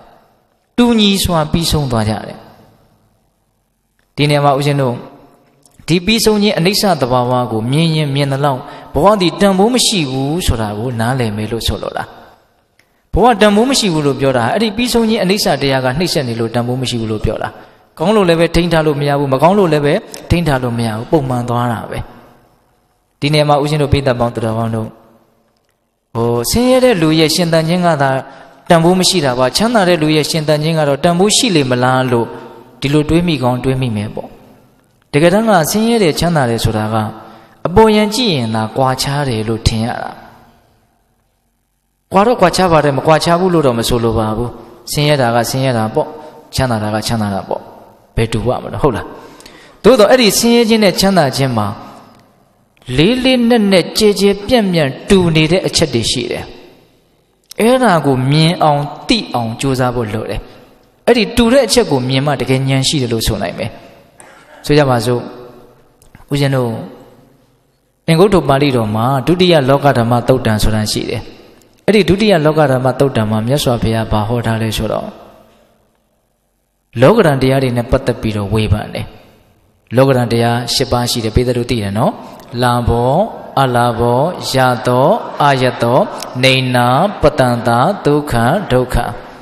လာဘောလက်ရတယ်ပြည့်စုံတယ်ကိုဖြစ်ချင်တာလေးဖြစ်တယ်အလာဘောလက်မရဘူးမပြည့်စုံဘူးရပြီးသားပစ္စည်းတယ်ဟုတ်လားရတော့အချမ်းရံတွေအကျော်သောတွေအချမ်းရံတွေရှိတယ်အချွေရံတွေရှိတယ်ကိုကိုချစ်တဲ့ခင်တဲ့လူတွေဝိုင်းဝိုင်းလဲနေတယ်အရတော့အချမ်းရံမရှိဘူးအထီးကျန်ဆန်းနေတဲ့ကိုကိုမုန်းတဲ့လူတွေပဲရှိနေတယ်ကဲနော်ပြီးတော့ဗာလဲ နေနာပတန်တာချီးမွမ်းတယ်ကဲ့ရတယ်ဒုက္ခဒုက္ခချမ်းသာတယ်ဆင်းရဲတယ်ရှင်းမျိုးအဲ့ဒီမှာမကောင်း၄မျိုးကောင်း၄မျိုးနော်ရတယ်အချမ်းရံရှိမယ်ချီးမွမ်းမယ်ချမ်းသာမယ်ဆိုတော့ဒါကောင်းတယ်ပေါ့ဟာမရဘူးရပြီးသားလေးပြည့်ရှိတယ်အချမ်းရံလည်းမရှိဘူးအထီးကျန်ဆန်းနေတယ်ပြီးတော့မှလည်းကဲ့ရဲ့တယ်ဆင်းရဲတယ်ဆိုရင်တော့မကောင်းဘူးပေါ့ဒီနေ့မှာဦးဇင်းတို့ပြောချင်တာကအဲ့ဒီမကောင်းတဲ့လောကဓာတ်နဲ့ကောင်းတဲ့လောကဓာတ် ဒီနှစ်ခုမှာကွာခြားချက်ထူးခြားချက်လောက်ကိုသာသိမယ်ဆိုရင်တော့ဒီပုဂ္ဂိုလ်ဆင်းရဲဒုက္ခကမလွတ်နိုင်ကောင်းတဲ့လောကဓာတ်ပဲဖြစ်ဖြစ်မကောင်းတဲ့လောကဓာတ်ပဲဖြစ်ဖြစ်တကယ်တမ်းကတူညီတဲ့အချက်တွေရှိတယ်အဲ့ဒီတူညီတဲ့အချက်တွေကိုသိအောင်မြင်အောင်ကြိုးစားနိုင်မှသာလေဒီပုဂ္ဂိုလ်ဆင်းရဲဒုက္ခကလွတ်နိုင်တယ်ဒကာဓမ္မတို့ဦးဇင်းတို့တွေကတူတာကိုသိပြီးတော့သတိမထားအောင်မတူတာတွေကိုပဲသတိထားအောင် ချမ်းသာတာကတော်တော်ကိုချမ်းသာတယ်ကောင်းလိုက်တာလို့ပဲဒီလိုထင်တယ်ကောင်းလိုက်တာဆိုတော့ဘာလို့မမောတဲ့လောဘနဲ့နှစ်မွန်းနေပေါ့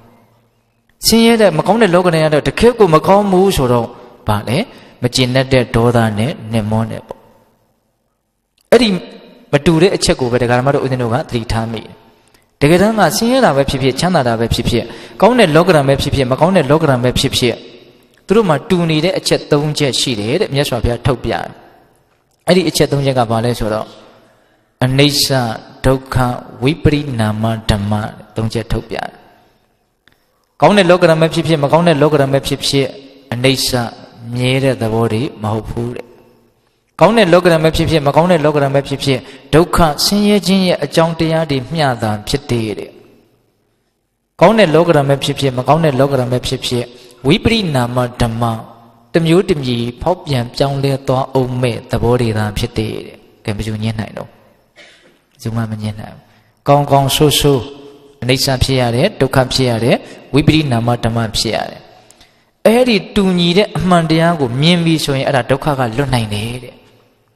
အဲ့ဒီတူညီတဲ့အမှန်တရားကိုမမြင်ဘူးဆိုရင်တော့အဲ့ဒီပုဂ္ဂိုလ်ဒုက္ခကမလွတ်နိုင်ဘူး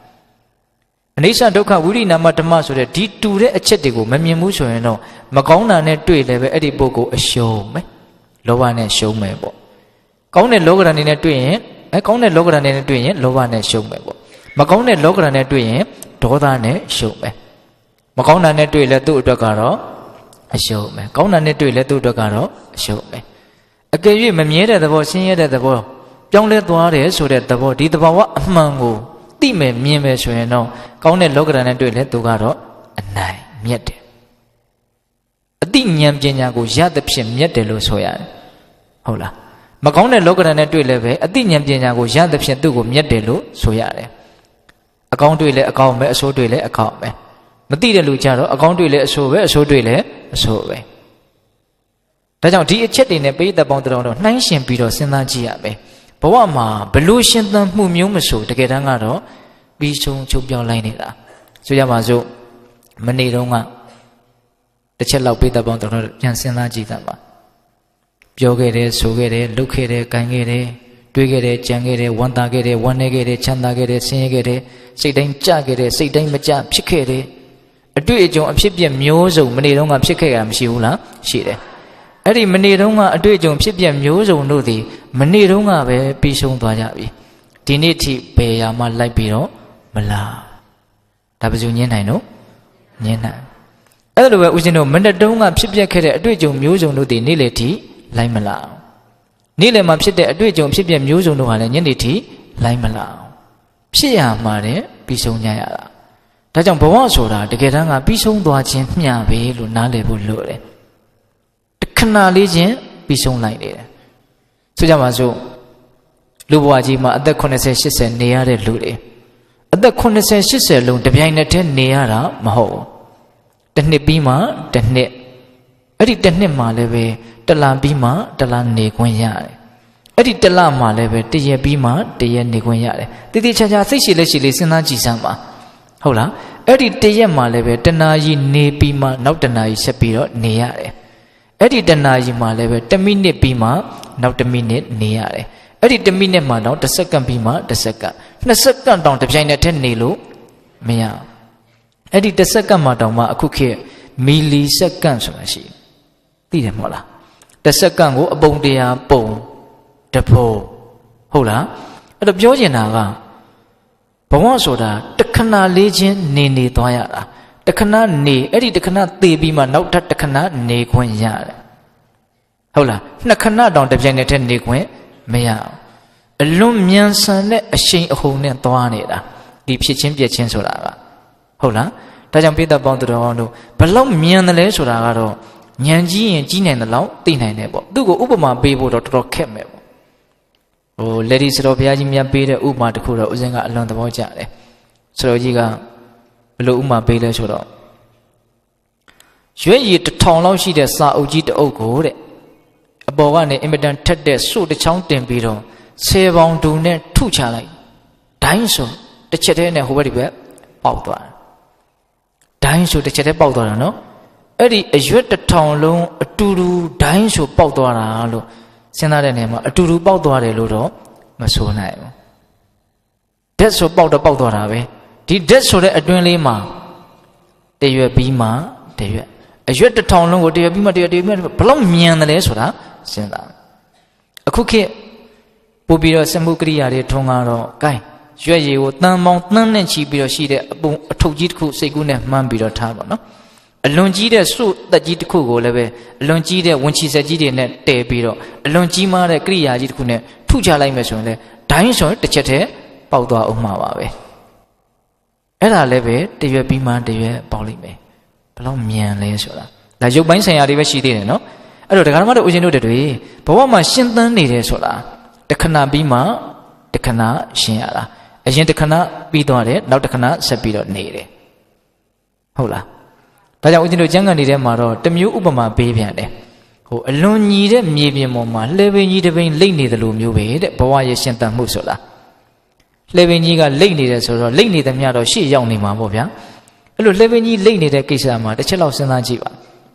လှဲပင်ကြီးရဲ့ပြင်ဘက်ကတန်နဲ့ကွတ်ထားတဲ့နှခမ်းအဲ့ဒီနှခမ်းနဲ့မြေကြီးနဲ့ထိပြီးတော့လိမ့်နေပေါ့နော် လိမ့်နေတဲ့အချိန်မှာတကယ်ထိနေတဲ့လှဲပင်ရဲ့ပြင်ဘက်ကနှခမ်းနဲ့မြေကြီးနဲ့တကယ်ထိနေတဲ့ဧရိယာဟာဘယ်လောက်ကျယ်မလို့ဘယ်လောက်မှမကျယ်ဘူးတလက်မလောက်ပဲရှိမယ်ပေါ့တကယ်ထိတဲ့နေရာလေးမြေကြီးကတကယ်ပြောင်းမယ်ဘိန်းကလည်းပဲတကယ်ဝိုင်းမယ်ဆိုရင်တလက်မတောင်ရှိချင်မှရှိမယ်အဲ့ဒီဘိန်းကြီးရှေ့လိမ့်သွားနေတော့ထိပြီးသားလေးကဘာဖြစ်သွားတော့လွတ်သွားတယ်မထိသေးတဲ့နေရာဆက်ထိတယ်ထိပြီးသားလွတ်သွားတယ်မထိသေးတာဆက်ထိတယ်ထိပြီးသားဆက်ထိဆက်လွတ်သွားတယ်မထိသေးတာဆက်ထိဒီလိုသွားတယ် အဲ့လိုပဲဘဝမှာအခုခဏနေလိုက်တယ်မရှိတော့ဘူးနောက်ခဏဆက်နေတယ်မရှိတော့ဘူးနောက်ခဏဆက်နေတယ်မရှိတော့ဒီလိုသွားတယ်ကောင်းတာလည်းဒီတိုင်းသွားတယ်မကောင်းတာလည်းဒီတိုင်းသွားတယ်ဆင်းရဲတဲ့ခံစားချက်ဒီနဲ့ဆိုလည်းဒီတိုင်းပဲသွားတယ်ချမ်းသာချက်ခံစားချက်ရှိနေတဲ့ခါမှာလည်းဒီတိုင်းပဲသွားတယ်ဒါကြောင့်ဘဝဆိုတာဘယ်လိုအနေအထားမျိုးနဲ့ပဲနေရနေရပြီးဆုံးချုပ်ပြောက်သွားနေတာမျှတာဖြစ်တယ်ဆိုတာတော့မထင်ရှားဘူးလားထင်ရှားတယ်ဒါကြောင့်ရှင်သန်ခြင်းသည် မမြဲခြင်းအနိစ္စကနှိမ့်ဆက်တဲ့အတွက်ကြောင့်တကယ်တန်ဖိုးရှိတယ်လို့မဆိုနိုင်ဘူးလို့သူကပြောတာဒါကလည်းပဲပိဿပေါင်းသူတော်ကတော့ဒီစကားကိုတကယ်လက်ခံနိုင်ဖို့သိဖို့နားလည်ဖို့ဆိုရင်အနိစ္စကိုပဲမြင်အောင်ကြည့်တတ်ဖို့လိုတယ်ပေါ့အနိစ္စဆိုတဲ့မမြဲခြင်းသဘောတရားကိုအသေးစိတ်နိုင်တဲ့လောက်စိတ်စိတ်မြင်လေးလေးဘဝဆိုတာဘာတန်ဖိုးမှမရှိဘူးဆိုတာကိုနားလည်နိုင်လေးလေးပဲဦးဇင်းတို့အပေါ်ယံပြောကြည့်မယ်ဗျာအခုဘဝဘာလဲဘဝဆိုတာဖြစ်ချင်းမှာပဲတကယ်တမ်းကတော့ ဘာတွေဖြစ်နေလဲမြင်တာတွေဖြစ်တယ်ကြားတာတွေဖြစ်တယ်နာနာစားတာထိတာတွေးတာဒါတစ်မျိုးတစ်ခုတစ်ခုဖြစ်နေတာပဲငကိုယ်တော့ကလည်းဒီမြင်တာတွေကြားတာတွေနာနာတွေစားတာတွေနဲ့နေခဲ့တာပါပဲနောင်လည်းပဲဘာတွေမြင်ဖြစ်အောင်မလဲလို့တောင်တွေးမြောက်တွေရှောက်တွေးမနေနဲ့ဒီမြင်ချင်းကြားချင်းနာချင်းစားချင်းထိချင်းတွေးချင်းဒါတွေပဲဖြစ်မှာပါပဲ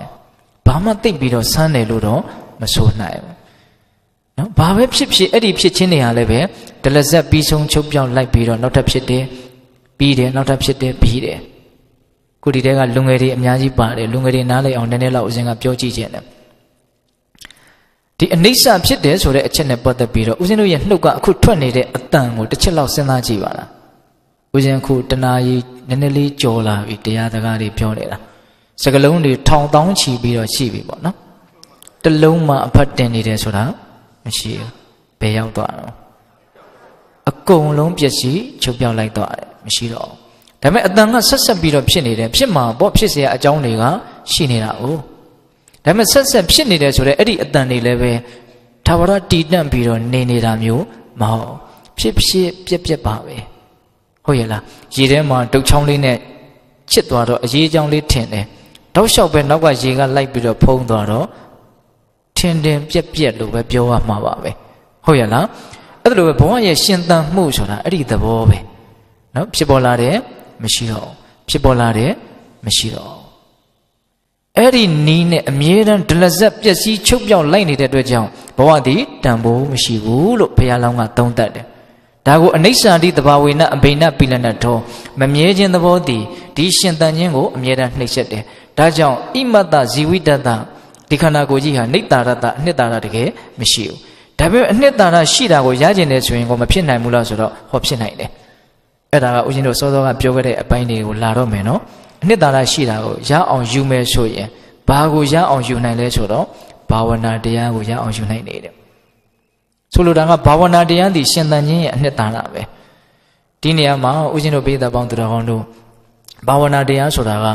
သမထဘာဝနာရှိတယ်ဝိပဿနာဘာဝနာရှိတယ် သမထဘာဝနာဆိုတာအကြံမြင့်တမာတိတရားလို့နားလည်ထားရမယ်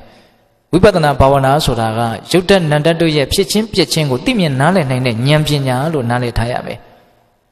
ဒီနေမှာတမာတိလည်းတန်ဖိုးရှိတယ်နော်တမာဟိတောဘိက္ခဝေယထာဘုဒ္ဓံပဇာနာတိတဲ့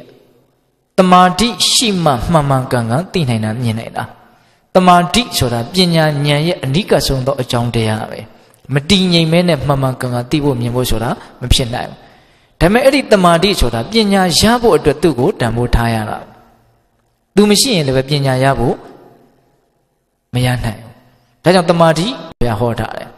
နော်တီလာသာသနာတမာတိသာသနာပညာသာသနာဆိုပြီးတော့တီလာသာသနာတခန္တတမာတိသာသနာတခန္တနာကိုဟောထားတာနော်တမာတိကိုပယ်လို့မရဒါပေမဲ့အဲ့ဒီတမာတိဆိုတာဘာဖြစ်ဖို့လဲဆိုတော့ပညာဖြစ်ဖို့ကိလေသာတွေကိုတကယ်ပယ်တတ်တာဒုက္ခတွေကိုတကယ်ငြိမ်းသွားစေတာကတော့ပညာကငြိမ်းသွားစေတယ် ဒါပေမဲ့အဲ့ဒီပညာကတမာတိကိုအခြေခံပြီးတော့ဖြစ်ရတယ်ဒါကြောင့်တမာတိလည်းတန်ဖို့ရှိတယ်ပညာကတော့အထွတ်အထိပ်တန်ဖို့ရှိတယ်ပေါ့အဲ့ဒီတမာတိပညာဆိုတဲ့ဒီဘာဝနာတရားနှစ်ပါးကိုရအောင်လုပ်နိုင်မယ်ဆိုတော့အဲ့ဒီပုဂ္ဂိုလ်ရဲ့ရှင်သန်ခြင်းဟာတန်ဖိုးရှိသွားပြီဟုတ်လားရှင်သန်ခြင်းကြီးတက်တက်တမာတိပညာမပါတဲ့ရှင်သန်မှုကတော့အနိစ္စရဲ့စားဘတ်ဝါဘတ်ဖြစ်တဲ့အတွက်ကြောင့်တန်ဖိုးတကယ်ရှိတယ်လို့မဆိုနိုင်ဘူး ဟုတ်လားအနိစ္စရဲ့စားဘတ်ဝါဘတ်ဖြစ်တော်ညာလည်းပဲဒီအနိစ္စရဲ့စားဘတ်ဝါဘတ်ဖြစ်နေတုံးမှာပဲအသိဉာဏ်ပညာကိုရအောင်ယူနိုင်မယ်ဆိုရင်တော့တန်ဖိုးရှိတာကိုရလိုက်တယ်ပေါ့ဟုတ်လားဒါကြောင့်ပိဿပေါင်းသူတော်ကောင်းတို့အသိဉာဏ်ပညာမပါသော ရှင်သန်မှုသည်တန်ဖိုးမရှိဘူးအကာတတ်တတ်ပဲအသိဉာဏ်ရအောင်လုပ်နိုင်မယ်ဆိုရင်တော့အနှစ်တွေပါရောသွားတယ်အဲ့ဒီရှင်သန်မှုတန်ဖိုးရှိတယ်ပေါ့ဟုတ်လားဒါကလည်းပဲရှင်သန်နေမှဒီဘာဝနာတရားဆိုတာအထုတ်နိုင်တာမဟုတ်လား ဟုတ်တယ်နော်ဒါကြောင့်ပိဿပေါင်းသူတော်ကောင်းတို့ဒီဘာဝနာတရားကိုရအောင်ကြိုးစားဖို့လိုတယ်ဒီနေရာမှာဦးဇင်းတို့စစ်မှန်တဲ့တမာတိစစ်မှန်တဲ့ပညာတရားရကျင်တယ်ဆိုလို့ရှိရင်တတိပဋ္ဌာန်ဒေသနာတော်မှာလာတဲ့ဤများနဲ့အညီကြိုးစားအထောက်ကြရမယ်နော်တတိပဋ္ဌာန်တရားယုတ်ကာယတွေဖြစ်တိုင်းသိတော့ကာယ ानु ပဒနာတတိပဋ္ဌာန်ပေါ့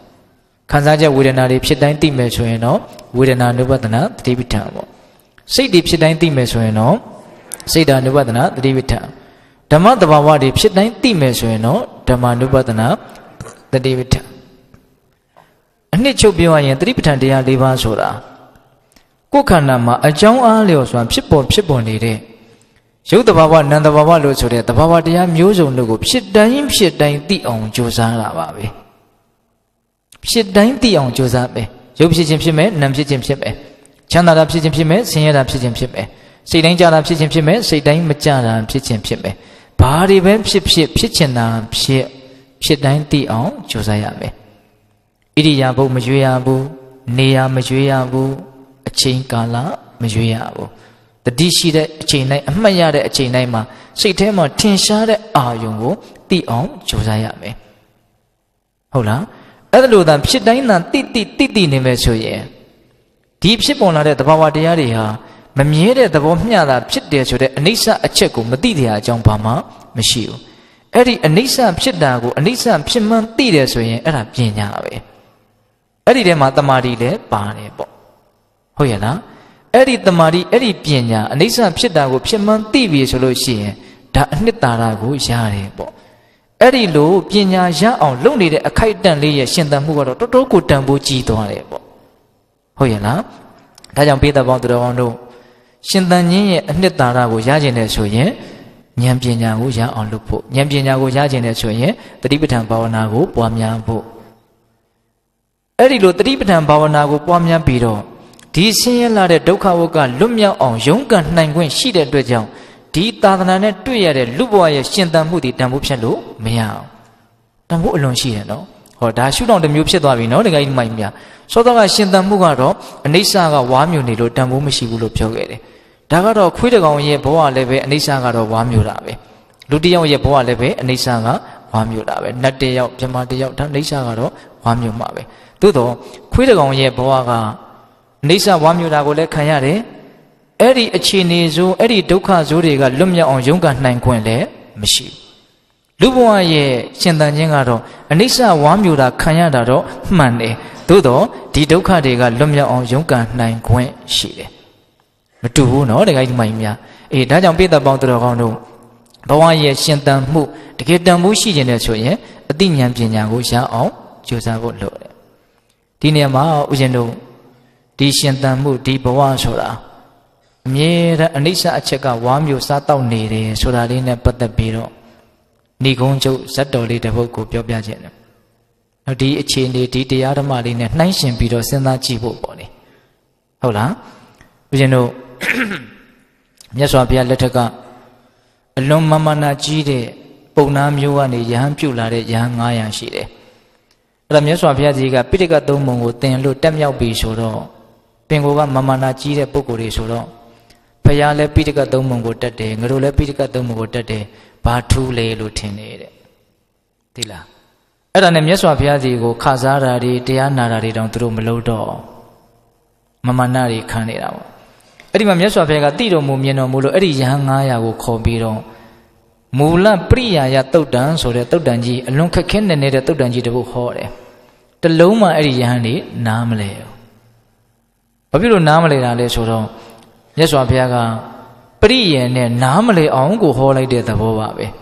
မမာနကြာသွားအောင်လို့ဘုရားဆိုတာဘာလဲတာဝကဆိုတာဘာလဲဆိုတာကိုကွဲပြားသွားစေခြင်းလို့အဲ့ဒီမှာအဲ့ဒီယဟန်နေရဲ့မမာနကြာ အဲ့ဒီတရားကိုလည်းနားပြီးတော့သူတို့မှဝမ်းသာတဲ့စိတ်မဖြစ်ဘူးဘာလို့ဝမ်းမသာအောင်ဆိုနားမလဲလို့ပဲဒါကြောင့်အဲ့ဒီတုတ်တံမှာထူးထူးဆန်းဆန်းပဲ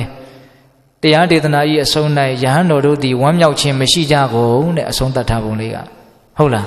ဒီပြန်တုတ်တန်နေဆိုရင်မြတ်စွာဘုရားကြီးတရားအဆုံး၌ယဟန်တော်တို့သည်ဝမ်းမြောက်ဝမ်းသာနာခံကြကုန်၏လို့အဲ့လိုလေးအဆုံးသတ်တာကိုဟုတ်လားဝမ်းမသာဘူးတဲ့ဘာဖြစ်လို့လဲဆိုတော့နားမလဲလို့နားမလဲရင်ဝမ်းမသာဘူးဟုတ်လားနားလဲမှဝမ်းသာတာ အဲ့ဒီမှာမြတ်စွာဘုရားကိုယဟန်တော်တွေကဒီယဟန်900မမာနကိုမြတ်စွာဘုရားမူလပရိယယတုတ်တန်ကြီးကိုဟောပြီးတော့ချိုးနေတယ်ဆိုတာကိုပြောကြတော့မြတ်စွာဘုရားက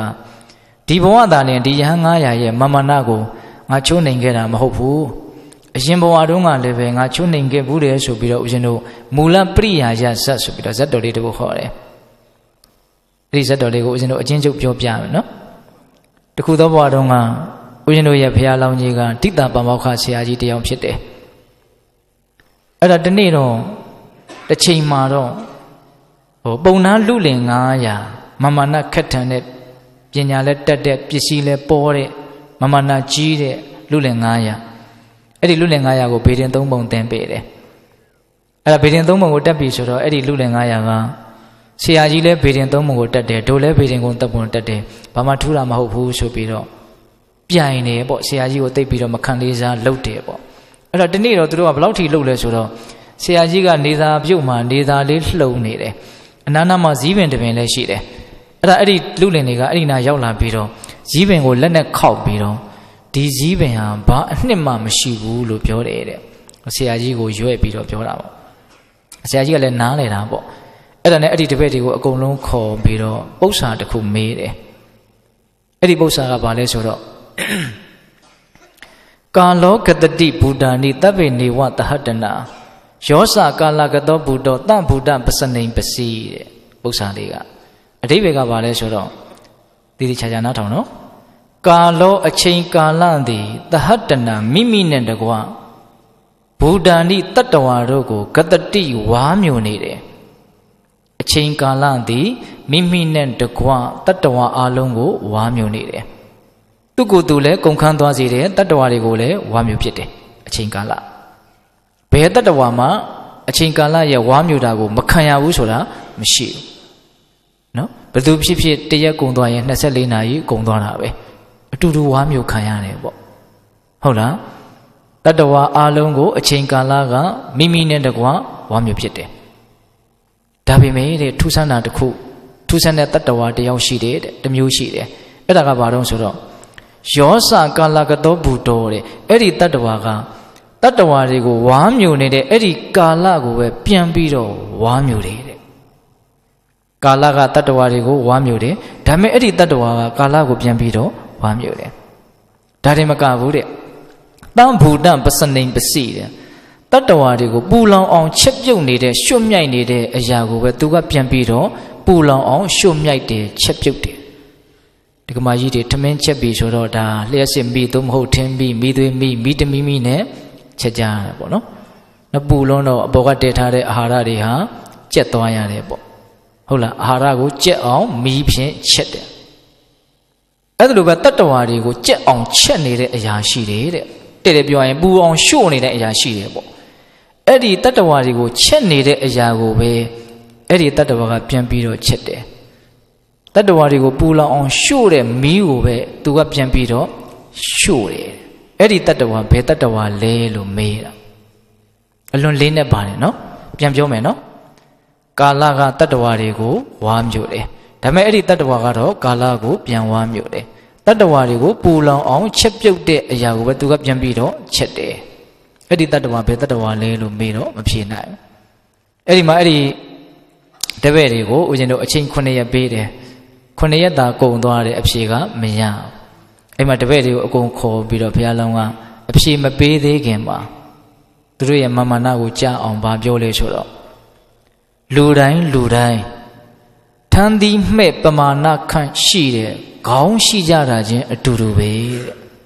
နော်ထမ်းသီးမှဲ့ကြီးလောက်ရှိတဲ့ခေါင်းကတော့လူတိုင်းရှိတယ်ဟုတ်လားဒါပေမဲ့လို့ ပြောလိုက်လို့ရှိရင်တိတတ်တဲ့နားလေတတ်တဲ့ဉာဏ်နာတစုံရှိဖို့ကတော့မလွယ်ဘူးတဲ့ဟုတ်လားခေါင်းတော့လူတိုင်းရှိတယ်တိတာတော့လူတိုင်းမသိနိုင်ဘူးဒါပြောတာဉာဏ်ပညာကတော့လူတိုင်းမရှိဘူးအဲ့ဒါလိုပြောပြီးတော့ဘုရားလောင်းကဘာဖြေလဲဆိုတော့အဲ့ဒီကာလကို ပြန်ပြီးတော့ဝါမျိုးတဲ့တတ္တဝါတွေကိုပူလောင်အောင်ချက်ပြုတ်တဲ့အရာကိုပြန်ချက်တဲ့ပုဂ္ဂိုလ်ဟာဘာလဲဆိုတော့ယဟန္တာပုဂ္ဂိုလ်ကိုပြောတာတဲ့ နော်တရားဓမ္မတို့ဦးဇင်းတို့တွေကတော့ကာလရဲ့ဝါမျိုးတာကိုပဲအမြဲတမ်းခံရမယ်ဖြစ်ကြပါစို့အခုနှုတ်ပြိုခဲ့တဲ့အချိန်လေးတွေကုန်ခဲ့ပြီအနေထားလေးတွေဘယ်သူကဝါမျိုးသွားတော့ကာလကဝါမျိုးသွားအခုအရွယ်အလက်ပိုင်းလေးတွေလည်းမကြခင်ဒါကုန်တော့မယ်နော်ဘိုးကြီးကိုမေကြီးကိုဖြစ်မယ်ပေါ့ဟုတ်လားဘယ်သူကဝါသွားတာတော့ကာလကဝါသွားတာပဲအဲ့ဒါလိုနဲ့နောက်မေကြီးဦးကြီးတွေရဲ့အနေထားကလည်းသေပြီဆိုတော့ဟောကာလကဝါသွားတော့ကုန်သွားပြန်ရော အဲ့ဒါလိုနဲ့နောက်ဘဝတစ်ခုခုပဋိသန္ဓေနေမယ်ပေါ့ဗျာနေပြီဆိုတော့လည်းပဲအဲ့ဒီအနေထားလေးကကုန်မြန်အောင်မယ်ဘယ်သူကဝါသွားတော့ကာလကပဲဝါသွားတာဟုတ်လားမွေရာကဘာလို့မွေးပြီးတော့နုနုလေးနဲ့ပြိုမယ်ပြိုရာကအိုမယ်အိုရာကနေသိမယ်ကာလရဲ့ဝါမြုံမှုကိုသာလင်အချိန်နဲ့အမျှခံကြရတယ်ပေါ့ယဟန္တာပုဂ္ဂိုလ်တွေကြတော့အဲ့လိုမဟုတ်ဒီဘဝစုတိရဲ့အခြားမဲ့မှာနောက်ထပ်ပရိသေတွေနေစရာကာလဆိုတာမရှိဘူးဒါကြောင့်သူဝါမြုံခံစရာအကြောင်း မရှိဘူးအိုစရာကာလဆိုတာမရှိဘူးတေစရာကာလဆိုတာမရှိဘူးဒါကြောင့်ကာလကိုသူကပြန်ပြီးတော့ဝါမြုံတယ်ဆိုတာအကြံမြင်အဲ့ဒါလိုနားလည်ရမယ်နောက်တတ္တဝါတွေကိုပူလောင်အောင်ရှုမြိုက်တဲ့မီးကိုသူကပြန်ပြီးတော့ရှို့တယ်ဆိုတာကတော့တတ္တဝါတွေကိုပူလောင်အောင်ရှုမြိုက်တဲ့မီးဆိုတာကိလေသာကိုပြောတာပါနော်လောဘဒေါသကိုပြောတာယဟန္တာမှာအဲ့ဒီလောဘဒေါသဆိုတာမရှိတော့ဘူးမီးကိုပဲမီးနဲ့ပြန်ရှို့တယ်ဆိုတဲ့အတိတ်ပဲအလွန်တရာမှစမ်းကြယ်တဲ့ဥပမာပေါ့နော် မီးဆိုတာကလည်းပဲသူကရှုတော့ကအမျိုးမျိုးရှိတာကိုဗျပူတဲ့နေရာမှာဥပမာပေးတာရှိတယ်အလင်းရောင်အနေနဲ့ဥပမာပေးတာရှိတယ်လောင်ကျွမ်းသွားစေတယ်ပျက်စီးသွားစေတယ်ဆိုတဲ့နေရာမှာဥမာပေးတာရှိတယ်မီးဆိုတာပူတယ်ဟုတ်လားပူလို့ပူတာနဲ့ဥမာပေးတာလည်းရှိတယ်အမီးနဲ့ရှို့လိုက်ရင်လောင်ကျွမ်းသွားတယ်ပျက်စီးသွားတယ်ဒါကိုဥမာပေးတာလည်းရှိတယ်ဒီမီးကလေးထွန်းထားလို့လင်းနေတယ်ဒါကောင်းတဲ့ဘက်ကျတော့သူ့ကိုဥပမာပေးပြန်တယ်အခုဒီမှာတော့ ဟောကိလေသာဆိုတဲ့မီးကိုပဲပြန်ပြီးတော့နောက်မီးတစ်မျိုးနဲ့ရှို့ပြန်တယ်နောက်မီးကဘာလဲဆိုတော့ပညာမီးပဲမီးကဒီနေရာမှာဥမာနှစ်မျိုးရတာနော်ပူလောင်စေတတ်တဲ့မီးရဲ့အဲ့ဒီအပူကိုပျက်စီးပျက်စီးကုန်ခန်းသွားစေအောင်ရှုမြတ်ပြစ်မဲ့နောက်ပညာမီးရဲ့သဘောပေါက်ရလားဗျာဒကာဓမ္မတို့ဦးဇင်းတို့တွေကပညာမီးကတိတ်မထက်သေးတော့အဲ့ဒီပူလောင်အောင်ရှုမြိုက်နေတဲ့ကိလေသာမီးကပဲအားကောင်းနေတော့အမြဲတမ်း ဆင်းရဲရတယ်ပေါ့ဟုတ်လားအဲ့ဒီမီးကိုကိုကကုန်ခန်းသွားအောင်ရှုမြိုက်မပြစ်နိုင်သေးဘူးပေါ့ယဟန္တာအရှင်မြတ်များမှာတော့ကိလေသာမီးကိုညံမီးဖြင့်ရှုမြတ်ပြလိုက်တယ်အဲ့မှာကိလေသာမီးတွေအကုန်လုံးမရှိတော့ဒါကိုပြောတာနော်မီးကိုမီးဖြင့်ရှို့တယ်ပူအောင်ချက်တဲ့အရာကိုပဲသူကပြန်ပြီးတော့ချက်တယ်လပိသပေါင်းသူတော်ကောင်းတို့ ဒီဇက်တော်မှာလာတဲ့ဒီအဓိပ္ပာယ်လေးတွေနဲ့ချက်ထွင်ပြီးတော့စဉ်းစားရမယ်တတ္တဝါတိုင်းတတ္တဝါတိုင်းကိုအချိန်ကာလကဝါမျိုးတယ်တနည်းအားဖြင့်အနိစ္စကဝါမျိုးတယ်နေဆံဖြစ်ကြရတာကြီးပျက်စီးကြရတာကြီးချုပ်ပြောက်ကြရတာကြီးပါဟုတ်ရလားအေးအဲ့ဒီလိုပျက်စီးမှုကအမြဲတမ်းနှိမ့်ဆက်နေလို့ဒီရှင်သန်မှုတန်ဖိုးမရှိဘူးသို့တော်လည်းပဲဒီရှင်သန်မှုလေးတဲကနေရှင်သန်နေခြင်းဖြင့်အသိဉာဏ်ပညာကိုရအောင်လုပ်နိုင်မယ်ဆိုရင်တော့ ဘာဝနာတရားကိုကြိုးစားနိုင်မယ်ဆိုရင်တော့ဘဝရဲ့အကြောင်းခန္ဓာရဲ့အကြောင်းကိုမှန်မှန်ကန်ကန်သိအောင်လုပ်နိုင်မယ်ဆိုရင်တော့တန်ဖိုးရှိတာကိုမရဘူးလားရတယ်ဒါကြောင့်ရှင်တန်ခြင်းရဲ့အနှစ်သာရသည်အသိဉာဏ်ပညာတနည်းအားဖြင့်ဘာဝနာတရားပေါ့ဉာဏ်ပညာမပါသောရှင်တန်မှုသည်ဘာတန်ဖိုးမှမရှိဘူးဒါကြောင့်ကိုယ့်ရဲ့အခြေအနေဘလို့ကုန်လဲဆိုတာစဉ်းစားရမယ်ပေါ့နော် အသိဉာဏ်ပညာရအောင်မလုပ်လိုက်ရဘဲနဲ့ကုံသွားတဲ့အခြေအနေကတော့အခြေအနေပဲအလကားပဲဟုတ်ရဲ့လားအသိဉာဏ်ပညာရလိုက်တဲ့အချိန်လေးတွေကတော့အလွန်တန်ဖိုးရှိတယ်ပေါ့ဒါကြောင့်ဘေးသက်ပေါင်းသူတော်ကောင်းတို့ဘာကတန်ဖိုးရှိလဲဘာကတန်ဖိုးမရှိလဲဆိုတာနဲ့ပတ်သက်ပြီးတော့ဒါတတိယအတွဲပေါ့ရှင်တန်မှုနဲ့ဉာဏ်ပညာဟုတ်ရလားဗျာဘယ်နှတွဲရှိသွားပြီတော့သုံးတွဲရှိသွားပြီနော်အဲ့ဒါဦးဇင်းတို့ဘုရားလုံးကန္နာယတိကအဲကန္နာ တထေသားကအဲ့ဒါကိုစဉ်းစားပြီးတော့ဒါယတိဝတ်သွားတယ်လို့ဆိုကြပါစို့အဲ့ဒါဦးဇင်းတို့ဒီကနေ့ပြောလိုက်တာကနော်အနှစ်၃ပါးလို့တရားကောင်းစဉ်တတ်ထားတယ်နော်ဟင်ပထမကပထမအနှစ်ကဘာလဲဆိုတော့ဒါနဆိုတဲ့ဆွန့်လွတ်မှုအနှစ်ဘယ်တဲကနေထုတ်ယူရမှာတော့ဆိုတော့ပိုင်ဆိုင်မှုဆိုတဲ့အကာတဲကနေထုတ်ယူရဟုတ်ရဲ့လားဒုတိယအနှစ်ကဘာလဲတီလဆိုတဲ့အနှစ်ဘယ်တဲကထုတ်ယူရမှာတော့ဆိုတော့ယောဂနှိမ့်ဆက်နေတဲ့ဒီခန္ဓာကနေ ထုတ်ယူရမယ်နော်နံပါတ်3အနှစ်ကမှာတော့အတိဉာဏ်ပညာခေါင်းဆောင်တဲ့ဘာဝနာအနှစ်ဘယ်ကနေထုတ်ယူရမှာဆိုဒီရှင်သန်မှုတွေကနေထုတ်ယူရမှာမရှင်မဲနဲ့ဒါလုပ်လို့မရဘူးနော်အေးဒါကြောင့်ပိဿပေါင်းတတော်ကောင်းတို့အနှစ်3ပါးဘယ်ဟာကအနှစ်ဘယ်ဟာကအကာဆိုတာခွဲခြားပြီးတော့သိကြတယ်အဓိကရွေးချက်ကဘာလဲ